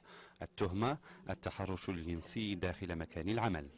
هذا السيد استغل آه، السلطة والنفوذ ديالو بانه عنده ذاك المكان والمنصب وبأنه باغي لا عجباتو شي بنت خاصو يدير فيها ما بغى بالأرقام البحث الوطني للعنف ضد النساء يفيد بتعرض حوالي 32 ألف امرأة للتحرش الجنسي سنويا داخل مكان العمل. خصوصا في القطاع الخاص بكثرة وخصوصا النساء اللي كيكونوا في واحد الوضعية ديال العمل اللي كتكون هشة واللي ما كتكونش عندها عقدة العمل ولا اللي كتكون عندها آه، العمل ديال غير المهيكل التحرش الجنسي داخل مكان العمل يعتبره قانون الشغل من الأخطاء الجسيمة. القانون الجنائي يعاقب على التحرش الجنسي بالسجن والغرامة المالية. في الواقع تجد النساء المتحرش بهن بأماكن العمل صعوبة في التبليغ. الإدارة غطاو على القضية ديال ديال التحرش الجنسي اللي طرات مع المدير ديالي. قال لك ما حقا ما لقاوش les preuves خصك تكون موجود راسك باش تعرف راسك راه غادي ياخسوا باش ت enregistrer وتخلي شي حاجة اللي اللي غتبقى preuve عليه. هنا بالوزارة المعنية المسؤولة عن قطاع المرأة لا تنفي ضرورة إصلاح بند معاقبة التحرش الجنسي في القانون الجنائي. فعلا هناك صعوبة فالمشرع المغربي ألقى بعملية الإثبات على الضحية. هي التي يجب أن تثبت بكل وسائل الإثبات الممكنة آه، فعل وواقع التحرش الجنسي. وأمام هذه يعني الإكراهات هناك إرادة ضمن التدابير القانونية لبحث مشترك آه، ما بين الوزارة وما بين وزارة التشغيل ووزارة العدل وكل الشركاء من المجتمع المدني سبل تسهيل وتعزيز هذه الآليات نزهة الصقلي اقترحت حين كانت وزيرة تعديلا على القانون الجنائي في باب التحرش الجنسي. القانون الجنائي كله ما مبنيش على نفس القيم اللي هي الآن معترف بها في المغرب واللي المغرب كيبني السياسات ديالو عليها. يعني ما مبنيش على حقوق الإنسان والمساواة اللي كاينة حاليا في الدستور ولكن مبني على الحفاظ على الأخلاق العامة وحفاظ نظام الأسر. التحرش الجنسي كيمنع النساء باش يمشيو يخدموا ويربحوا حياتهم وحياة أولادهم. التحرش الجنسي كيمثل واحد الجريمة تجاه حقوق الإنسان ديال المرأة المغربية. المطالبة بمراجعة بند معاقبة التحرش الجنسي بالقانون الجنائي تنطلق من تأثير التحرش الجنسي على حياة المرأة العاملة. دابا كنشوف un psychiatre je suis en train de suivre une thérapie ما كان ما نقدرش نخدم comme il faut حسيت بالحقرة parce que علاش قال هو normalement هو c'est un directeur ما لقاوش ليه un poste donc ils ont préféré باش أنا يبدلوني في un autre site اللي بعيد لي على الدار بعيد لي على الخدمة اللي كنت خدامة فيها. مع les clients ديالي مابقاوش عارفيني تماك. أه تبدلوا بزاف الحوايج في حياتي vraiment بزاف الحوايج. mis à part الخدمة même le côté psychologique ديالي ما بقاش كيف ما هو. وان التنقيط ديالي كان كيعتبر كعقوبة ليا نزلوا إلى الحد الأدنى. وأن السيد أن حتى الترقية ديالي أنني ما استفدتش منها وكان ذلك ضرر مادي ومعنوي. وتا نفسي لاني اضطرت اضطررت إلى زيارة الطبيب. هاتان الحالتان اختارتا فضح التحرش الجنسي داخل مكان العمل. في المقابل آلاف النساء المغربيات النشيطات يخترن اللجوء إلى قانون الصمت. السبب نص قانوني يفرض على النساء إثبات التحرش الجنسي وتلكم مهمة تكاد تكون مستحيلة. الأستاذة الركاني تكلمت شيئا مع الآثار الاقتصادية ديال ديال التحرش. شوف الدكتور بنيشو فيما يتعلق يعني بالجانب النفسي الآثار اللي كترتب على عملية أو فعل التحرش على على الضحايا. يعني هو حقيقة من ناحية الآثار النفسية هي آثار وخيمة. وربما نقول كل الطب النفسي ممكن يعني يكون آه، عنده علاقة بالآثار النفسية. يعني مثلا ممكن ذاك الإنسان ذاك السيد اللي تعرض للتحرش يكون عنده مشاكل قلق مشاكل خصوصا اكتئاب مشاكل صراع يعني بحال كما شفنا في الروبوتاج كنت تتصارع. ولكن لا أحد سوف يكون يساعدها وسوف تزيد المشاكل ديالها لأن هذا المشكل مثلا في التحرش هو ما عندكش الإثبات. يعني ما عندكش شواهد إثباتية وما كاينش اللي يقدر واخا يدافع عليك شي واحد يعني الدلائل غير موجودة. ثم هناك مشاكل مثلا وسواس القهري هنا مشاكل ما يسمى le syndrome post-traumatique هنا مشاكل انتحار مثلا آه، هناك مشاكل ديال التخوف الاجتماعي هناك مشاكل ديال الثقة في النفس مثلا ما تتبقاش ذاك الإنسان ثقه في النفس ديالها. آه، هناك مشاكل حتى في العلاقة ذاك الإنسان مثلا تعرض للتحرش.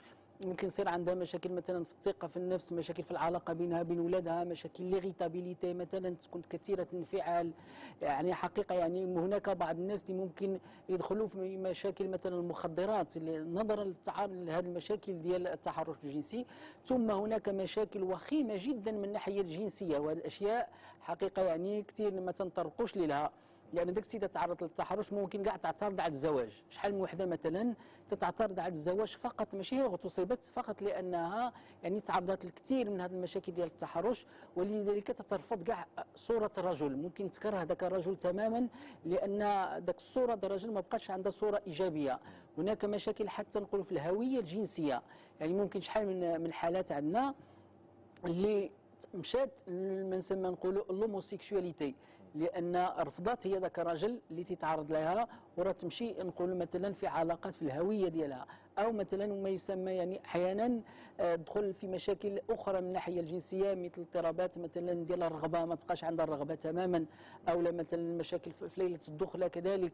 اذا المشاكل الجنسية خطيرة جدا وهناك بعض الفتيات اللي ممكن يدخلوا حتى للدعارة نتيجة لهذه القضايا ديال التحرش والاغتصاب. وممكن هذه السيدة عاوتاني تدخل تعرف الدعارة إحنا عندنا في المغرب كذلك تضرب أرقام قياسية. والمخدرات كما أشرت تضرب أرقام قياسية. وهنا راه تزيد ذاك السيده اللي تعرضت لذاك التحرش تدخل في مشاكل أخرى. في دوامة الإجرام. في دوامة. اذا هنا حقيقة ثم هناك مثلا التحرش هو تؤدي للتحرش يعني أنا عندي واحد السيد اللي خرج من عندي هذه الأيامات في العيادة اللي كان سبق أن تعرض للاغتصاب اغتصب 20 واحد انتقاما لأنه ملي كان صغير اغتصب. لذلك أنت نجد في التحرش مثلا دائما ذاك اللي تيكون يعني أثر في التحرش هو تيولي متحرش. التحرش الانتقامي هذا يعني تصور على أن 20 اغتصاب لأنه هو تيقول لك أنا انتقم علاش كانوا اغتصبوني ملي كنت صغير؟ اذا مشاكل التحرش هي ومشاكل الاغتصاب. مشاكل خطيرة جدا وكل الاعراض النفسيه في الطب النفسي ممكن تكون ناتجة على هذه المشاكل ديال التحرش نشوف سناء العاجي من خلال الاشتغال ديال هل الآثار الأخرى من غير هذه الآثار اللي تكلمنا عليها إلا كاين آثار أخرى ونتائج أخرى. غادي نرجع شوية نيت اللي قال اللي قال الدكتور. أه ما نوصلش ربما الحالات المرضيه اللي هو اشتغل عليها لكن الأكيد هو أن المرأة كيولي عندها علاقة ملتبسة بالجسد ديالها.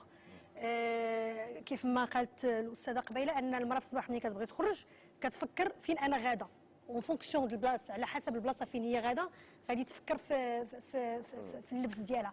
ما كتحسش المرأة بالأمان في الشارع. راه ملي كنقولوا أن 76% من العيالات ديال المغرب كيتعرضوا للتحرش بشكل يومي واش كنوعوا شوية بهذا الرقم؟ راه رقم كبير. وبالتالي كتولي كيف ما قال الدكتور العلاقة بالآخر ملتبسة العلاقة بالجسد ملتبسة الثقة بالنفس وكتولي هي نفسها كتحس بنفسها ضحيه ملي كتجي عندي أنا مراه كتقول لي كانت غادية في الشارع واحد غادي تابعها تابعها تابعها واحد الوقت بان لها بوليسي. مشات عنده قالت له الله يخليك راه السيد كيتبسل عليا ويقول لها واختي أنا كون ما كنتش تربيه كون راه أنا تبسلت عليك. المرأة ما كتحسش بالأمان في حتى شي بلاصة. ملي كتمشي عند البوليسي الأستاذة كتكلم على على المشرع.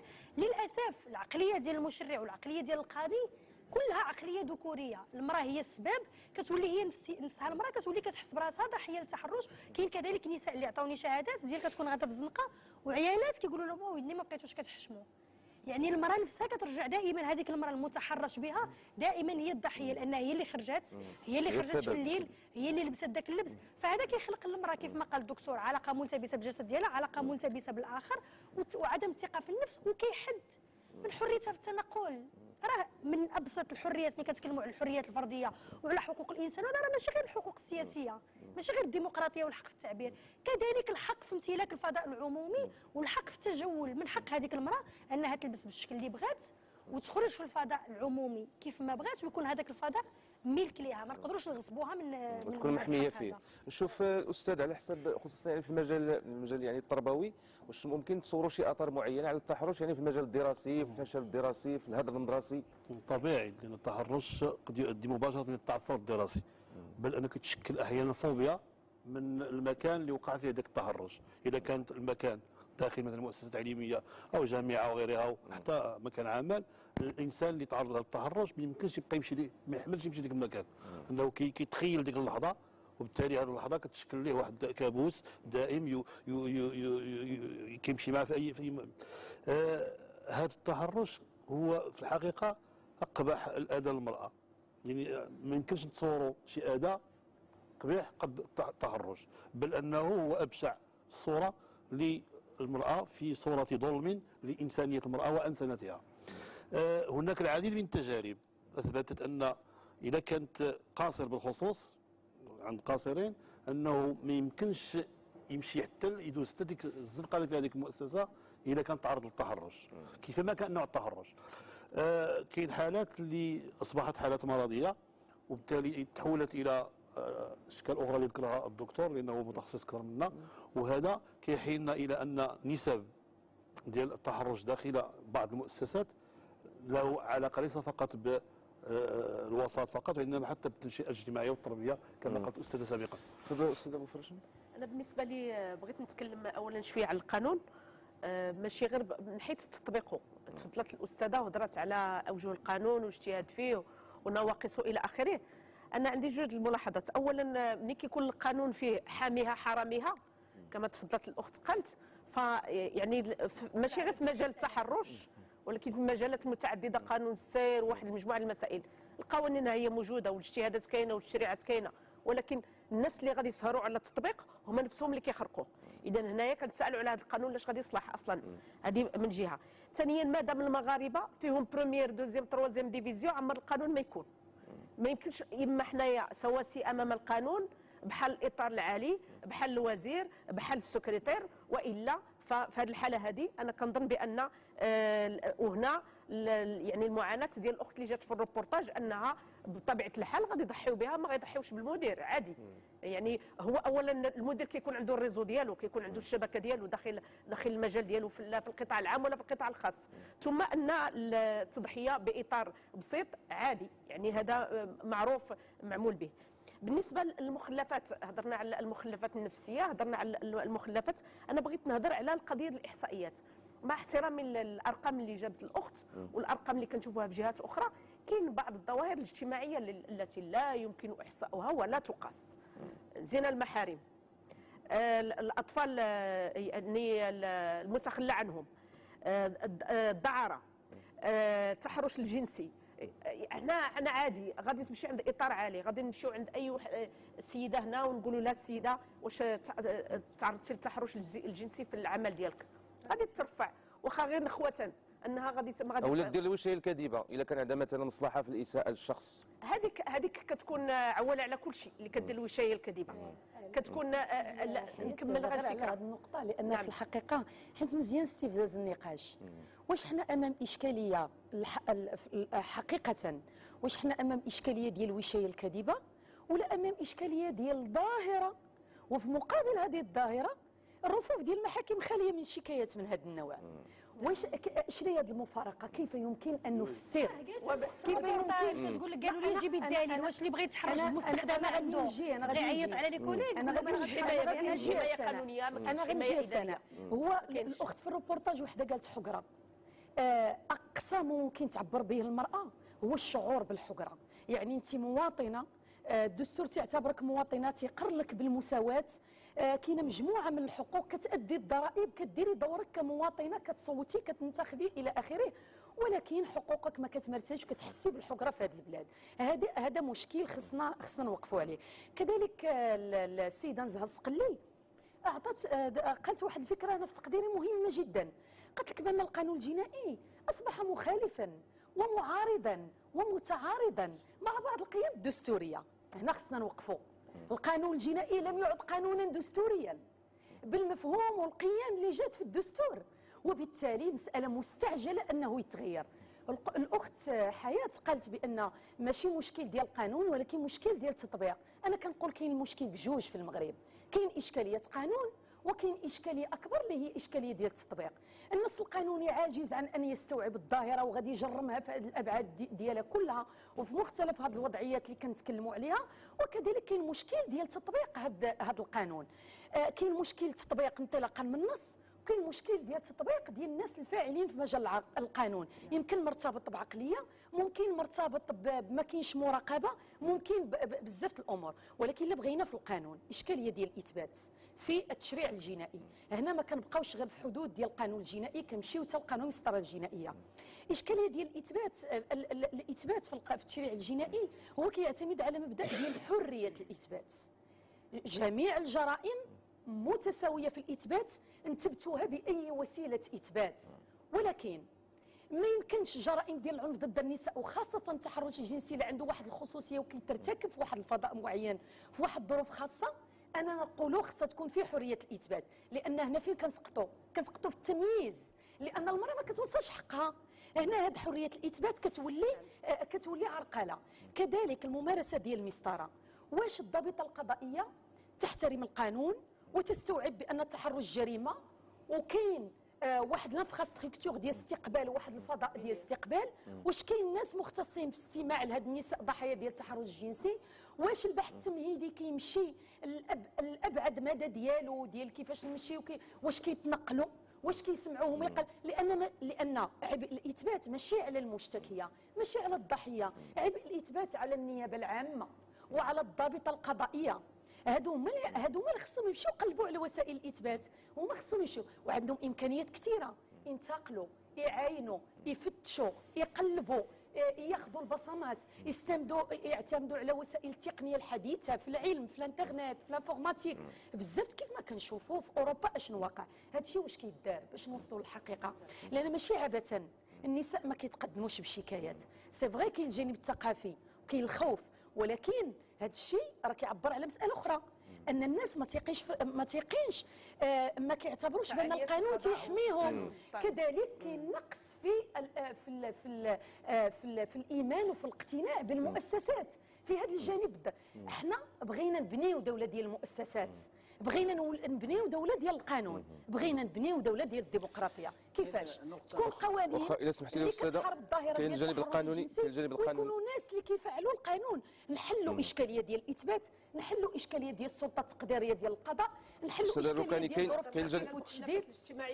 كاين الجانب القانوني بدات تسمعوا غير المشاهدين شنو مازال ال- ال- الآراء ديالهم؟ تفاعل ردود الفعل المتواصلة من المتتبعين والمتتبعات ديال محاور البرنامج.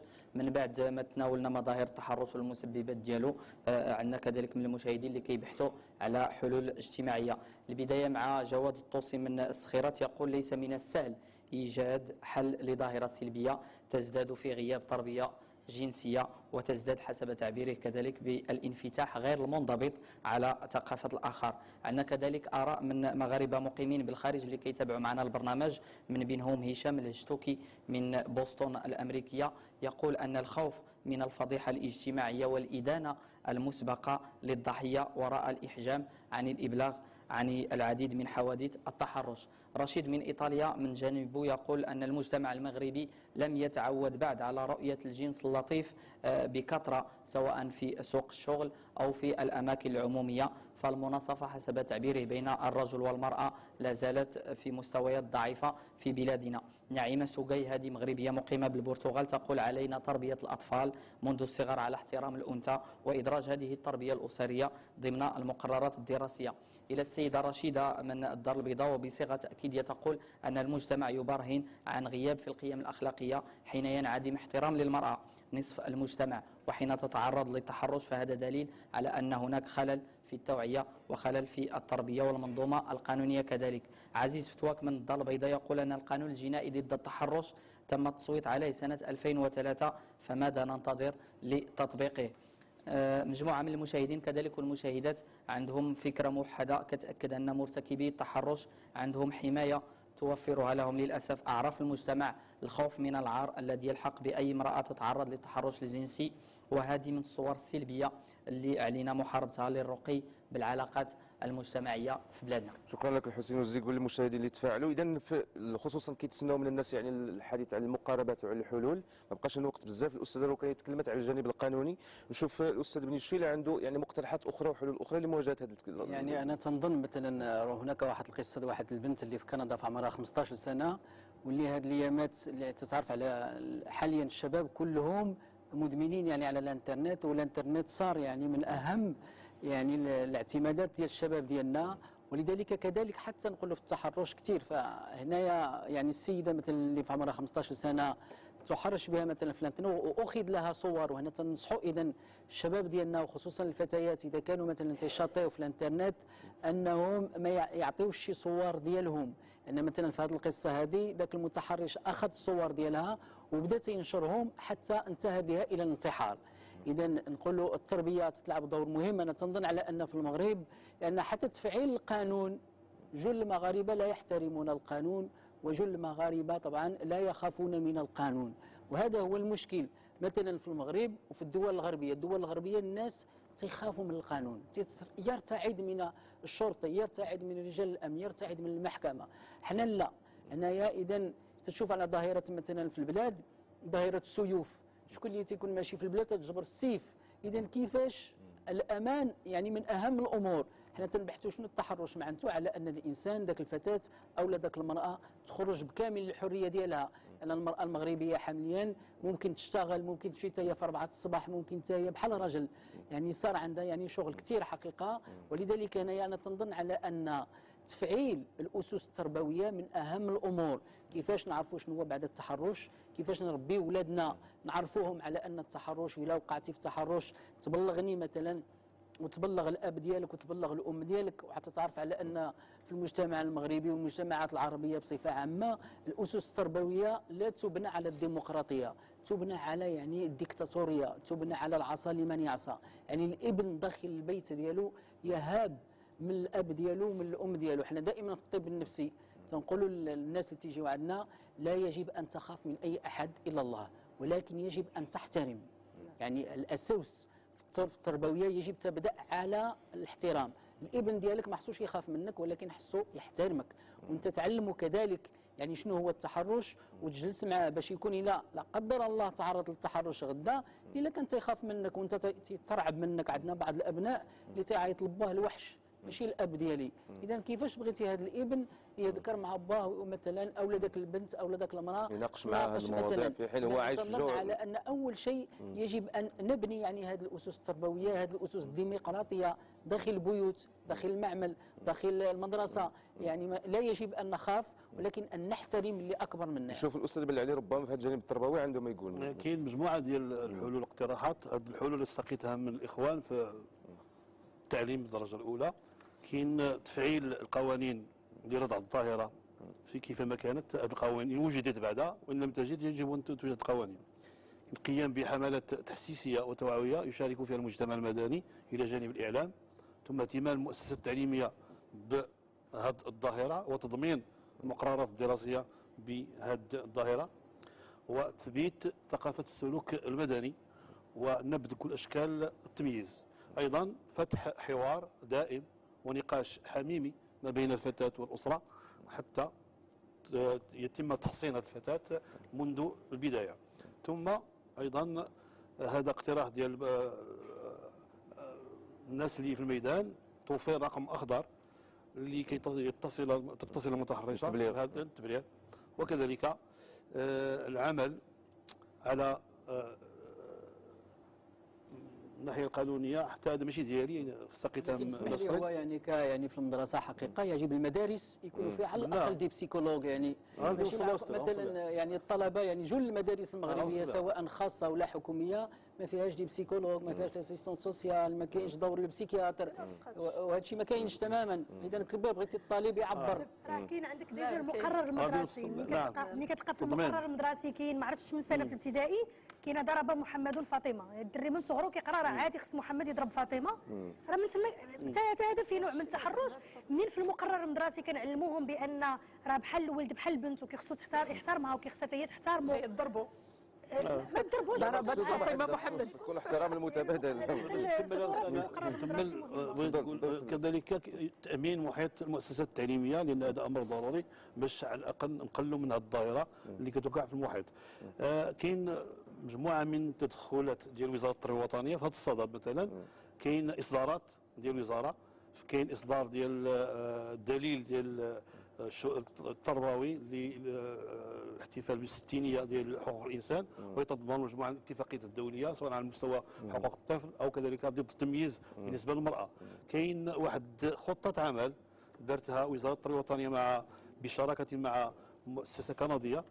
هي هذه الخطة آه، غادي ننتظر الا ما غاديش واخا نفسح المجال سناء العجيب بين ما ترتب الأفكار ديالك سناء اذا كان شي إضافة فيما يتعلق السميه ديال هذه الخطه صافي plan d'action stratégique à moyen terme de l'égalité entre les sexes dans le système éducatif éducatif. بين 2009 2012 وهذه خطه باش للحد ما بين الفصل بين الجنسين في المؤسسه التعليميه وهذا اعطى كنوجدوا جميع المؤسسات تقريبا في المغرب الان فيها آه، اختلاط ديال الجنس. هو ك- كت- كيخص تكون آه، ش- الجمع ديال مجموعة من من الحلول ما كاينش حل واحد. كاين المقاربة القانونية اللي تكلمت عليها الأستاذة واللي هي التخصص ديالها. كيخصنا قوانين وكيخص تطبيق القوانين. ملي كيكون البوليسي والقاضي وهذا ما قادش يحميني راه المرأة ولا ولا ولا مشكل. ما هذه المسألة ديال جيب الدليل إلى آخره. اذا خص نهار غيكون ذاك المتحرش كيتعاقب بصح الظاهرة غادي تبدا تقل. ملي كيكون المتحرش كيعرف راسو راه كيدير اللي دار ما عندوش مشكل المجتمع كيحميه التقاليد كتحميه النظرة ديال الآخر كتحميه البوليسي كيحميه القانون كيحميه الظاهرة غادي تنتشر. قبل من القانون كيخص اولا غير نبداو بحال هذا البرنامج هذا غير نعترفوا بأن عندنا هذه الظاهرة هذه نخرجوا أنا بالنسبة لي كاين شي تصريحات اللي تقالت بالضحك ولا متجاوزة ولكن راه كيخصنا لها ملي كنقولوا حتى واحد السيد قال لي البارح في التليفون وقبيلة قلتها بالضحك ديال ولا راه بعض المرات البنات كيكعوا لا ما قلتيش ما قلتيش لهم شي كلمه زوينه لا البنت كتكعى منين كتخرج؟ منين كتخرج الصباح من دارهم حتى كتدخل في العشية وهي كتسمع الهضرة في الزنقه وكتسمع الهضرة في الخدمة. ولا تحرش بها شي حد كيقولوا لها علاش لبستي هكاك وعلاش خرجتي ومنين كتمشي عند القاضي؟ آه منين كيقول الأستاذ لا راه أوروبا عندهم مسؤولين وكيتحرشوا راه ماشي حيت هما تفضحوا حنا ما تفضحوش. راه ما عندناش التحرش ديال المسؤولين. غير فقط البنت باقا واخا يتحرش بها أي واحد في الزنقة ولا لو كوليك ديالها ما كتقدرش تمشي عند البوليس فما بالك إلا تحرش بها مسؤول كبير. فكما قالت الأستاذة ملي ما كيكونوش عندنا بأرقام بشكل كافي هذا ما كيعنيش أن ما عندناش الظواهر. إذا أول شيء أننا نعترفوا أن عندنا واحد الكوارث وواحد الظواهر خايبة في مجتمعنا. نحيدوا ذاك الخطاب ديال واه إحنا مجتمع إسلامي وما عندناش هاد المشاكل والإسلام يحث على احترام والاخلاق وهذا هادشي عندنا في الخطاب. الواقع أن الظاهرة كبيرة وغاديه وكتستفحل مرة أخرى غنجبد المثال ديال مصر. وصلوا الان ظواهر ديال الاغتصاب الجماعي لأن التحرش الجنسي فاش بدا ما بقى حتى شي حد كيديها فيه ما كيخصناش نوصلوا للأسف لهاد لهاد الظواهر. كاين المسألة ديال التربية اللي تكلم عليها الأستاذ. ملي كتكون في المقرر المدرسي كاينة واحد الصورة اختزالية للمرأة في الكوزينة في الحمل وفي الولادة وفي الدار كنعلموا عاودوا في الدراما في التلفزيون وفي الدار الأسرة كنعلموا بأن كاين الفرق ما بين الولد والبنت. خوك واخا يخرج في الليل تعطل انت ما خصكش تعطلي انت ما تلبسيش هكا انت واخا تلبس هكا. بغيت غير شي ولد يتخيل راسو الولاد اللي عندهم 16 17 عام الفوق انهم ملي كيلبس حوايجو الصباح وكيخرج مع الثمانيه كيسمى غادي وكيسمع خويا هاد الشهوبية ديال بصح ولا ديال العطار؟ زوينين عينيك جا معاك هاد الجين جات معاك هاد القميجه كيفاش كيحس بها؟ ما باقيش شي حد يقول لي اللبس ديال المرأة. سولوا المرأة المحجبة سولوا المرأة اللي donc هاد هاد الأمور هذه اللي كنحاولوا نستخفوا بها من الظاهرة راه تعرضت للاغتصاب حيت خرجات حيت لبسات ما عندناش هاد الظاهرة في المجتمع. أول شيء أننا نوعاو عندنا ظاهرة خايبة في المجتمع كيخصها تناقش وكيخصها تحل قانونيا في التربية في الأسرة وللاسف للأسف هذه المسألة غادي تاخذ لها وقت ما. نعولوش غدا ما يبقاش عندنا هذا المشكل حياة بوفراش أنت إلا عندك شي إضافة فيما يتعلق بالحلول بطبيعة الحال أنا اللي بغيت نتوجه مباشرة للإخوة والأخوات المواطنين والمواطنات هو أنه التحرش الجنسي مهما حاولنا نهضروا عليه لهنا في هذا البلاطو وهضرنا عليه في فضاءات أخرى وعبر ال- الإعلام المكتوب وال- والإلكتروني أعتقد أنه آه، حتى واحد ما يق- ما يقد يقيس الأسر اللي تحطمت بالتحرش الجنسي. ودائما الزوج يحمل المرأة المسؤولية. إلا تبعوك في الزنقة أنتيا ولا آه، الشاف ديالك تبعك راه أنتيا ولا إلى آخره. شحال من وحدة اللي اغتالت مسارها المهني؟ شحال من وحدة اللي عاملة بسيطة؟ كانت كت- كتهزا خوتها هزا سبعة وثمانية ديال النفوس وحبست من العمل لأنها ما يمكنلاش تمشي في 6 الصباح للمعمل أو الشاف ديالها في المعمل اللي اللي كينظم العمل كيتحرش بها. في الحقول كذلك. فاسر تحطمات آه، أحلام تحطمات نفسيات تحطمات آه، كما قال الأستاذ ال- ال- ماشي غير العزيبات اللي هما كيتحطموا نفسيا وكيتبلوكاو جنسيا لأنه كاين التحرش الجنسي. كذلك المتزوجات يعني كتنتهي الحياة ال- ال- الأسرية ديالهم لأنهم آه، كينتهيوا جنسيا. فاذا هذه المسألة هذه كنت كنا بغينا نعبروا عليها أكثر ولكن ما كاينش الوقت. بالنسبة للحلول أنا كنظن بأن الجزء الأكبر من الحلول هو اللي إحنا بصدده الآن. عندما نكسر الصمت حول موضوع ما ونتكلم به بجرأة وكنحاوروا بكل بكل ود وبكل أخوة المواطنين والمواطنات المغاربة. كنعرفوا بأننا اليوم بصدد 50% كنقطعوا 50% ديال الشوط ديال الحلول. الحلول اللي آه أنا كنهضر عليها هي ماشي الحلول الترقيعية لأننا الآن حنا بصدد يعني إجراء علاجي لمشكل متغلغل مشكل اجتماعي متغلغل في المجتمع. نحن نتمنى أن نكون بصدد المقاربة الوقائية. جاية منين؟ إحنا كنهضروا على من الخيمة خرج مايل. شنو هي الخيمة؟ هي الأسرة. ملي كيخرج الطفل؟ من الأول. عنده كتدوز له مجموعة من من ال- القيم مجموعة من الأمور كتمرر له عبر التربية. ملي كنتساهلوا معاه؟ كما قالت الأخت هو وكنشددوا مع الأخت. علاش كيكون عندنا البنات منضبطات؟ يعني و- و- وحريصات وعندهم آه، ال- الانا الأعلى دائما حاضر وعندهم ذاك الرقابة الأبوية وال- وال- والأستاذ راه عارف هذا الشيء ذاك le moi paternel عندهم حاضر بزاف لأن داك الشيء تمرر لهم في في التربية. الأبناء الذكور يستبيحون كل شيء داخل الأسرة وخارجها لأن مررنا لها لهم في التربية بأن أنت راجل دير اللي بغيتي. اذا هذه القضية. ثم القضية في المرحلة الأخيرة وخصها تكون في المرحلة الأولى هي القانون. القانون التشريع خصو يكون. ومني كتهضر السيده اللي هي في الوزارة الوصية على آه، ال- الأمور آه، ديال ديال الأسرة أو ديال النساء. أظن أن في هذه الحكومة بالذات هذه الفوضى الاجتماعية خصها تحبس. لأن ملي كان ملي كان آه، يعني هناك نحن اولا في بلد مسلم وقبل ما نهضروا على المدنية في في آه، دول أخرى مثلا في الصين عندنا 48 ديال التحرش داخل فضاءات العمل ولكن في الفضاء الخارجي ما كاينش التحرش الجنسي. يعني قليل وبالتالي فأنا كنظن بأن في بلد مسلم كهذا كلمة قال لا السيدة أبو فراش لأن لأن الوقت المدنية. الوقت سالو وعندي غير فقط مستقطع بعد إذن يعني الطاقم التقني ب 20 ثانية الا كانت شي إضافة عن شي متدخل فيكم دكتور بوليش اشهر الله يخليك على أن طبعا نظرا للنتائج الوخيمة ديال هذا التحرش فيستوجب أي سيدة تعرضت لهذا التحرش باش تزور يعني يكون عندها على الأقل متابعة من طرف واحد طبيب نفسي أو أخصائي نفسي بسيكولوج. لأن ما تقدرش ذاك الانسانه تعيش بذاك النتائج الوخيمة لأن التحرش ممكن يعطي كما أشرنا نتائج وسلبيات على كل هذه المستويات سوق كبير هذه لكم. ماشي طبعا. سناء العاجي أنا جيتك سناء العاجي إذا كان شي إضافة؟ آه، ال- ال- الإضافة اللي عندي أنا ماشي إضافة هي اللي اللي قلت قبيلة اللي خصنا نأكدوا عليها غير غير نحيدوا هذاك السياسة ديال النعامة ديال نبقاو نقولوا هذا الشيء ما عندناش والمسألة اللي كتنرفزني ديال راه المسؤولية ديال المرأة هي مسؤولية مشتركة ما يمكنش نقول للمرأة أنت ما تلبسيش باش أنا ما نتحر ما نتحرش بك. نحيدوا حتى الجانب الديني اللي كيقول حتى الرجل غض البصر. راه ما يمكنش تقول لي أنا راجل وما قادش نتحكم في غريزتي. ملي كنشوف وحدة زوينة كنهيج. إلا كنتي راجل بصح هي كتخلي عقلك هو اللي يخدم ماشي الجسد ديالك والغرائز ديالك. أنا كنقول أنا الأوان لكسر جدار الصمت والمضي قدما لمحاربة هذه الظواهر بمقاربة ليست أمنية فقط إنما تشاركية يشارك فيها الجميع الاعلام آه، الصحافة و- آه، آه، وغيرها من الفاعلين و سيدة الركاني عندك شي إضافة؟ آه، أنا اللي بغيت نضيف هو أن ونعاود نأكد عليه هو أن هذا التحرش الجنسي هو شأن مجتمعي. شفنا في الريبورتاج الحديث على قانون الصمت. إحنا ما خصناش نقبلوا قانون الصمت في هذه البلاد. كاين دستور اللي هو تعاقد اجتماعي سياسي وجاب المبدأ ديال المساواة المواطنة للجميع كذلك حظر التمييز والنساء من حقهم يمشيو للقضاء كما أنهم كيمشيو للجمعيات والمراكز ديال الاستماع بسهولة. آه، آه، ال- ال- كونهم يمشيو للجمعيات كيشكيو كاينة حالات كثيرة وكنلقاو فراغ داخل المحاكم. هذا كاين فيه آه، مس بالحق آه، بحق اللي هو حق دستوري ديال الولوج إلى العدالة وديال اللجوء إلى العدالة واللجوء إلى القضاء وكذلك الولوج إلى هذه المؤسسات من أجل الحصول إلى على الحق ومن أجل حماية الحق. هنا أشنو خصنا؟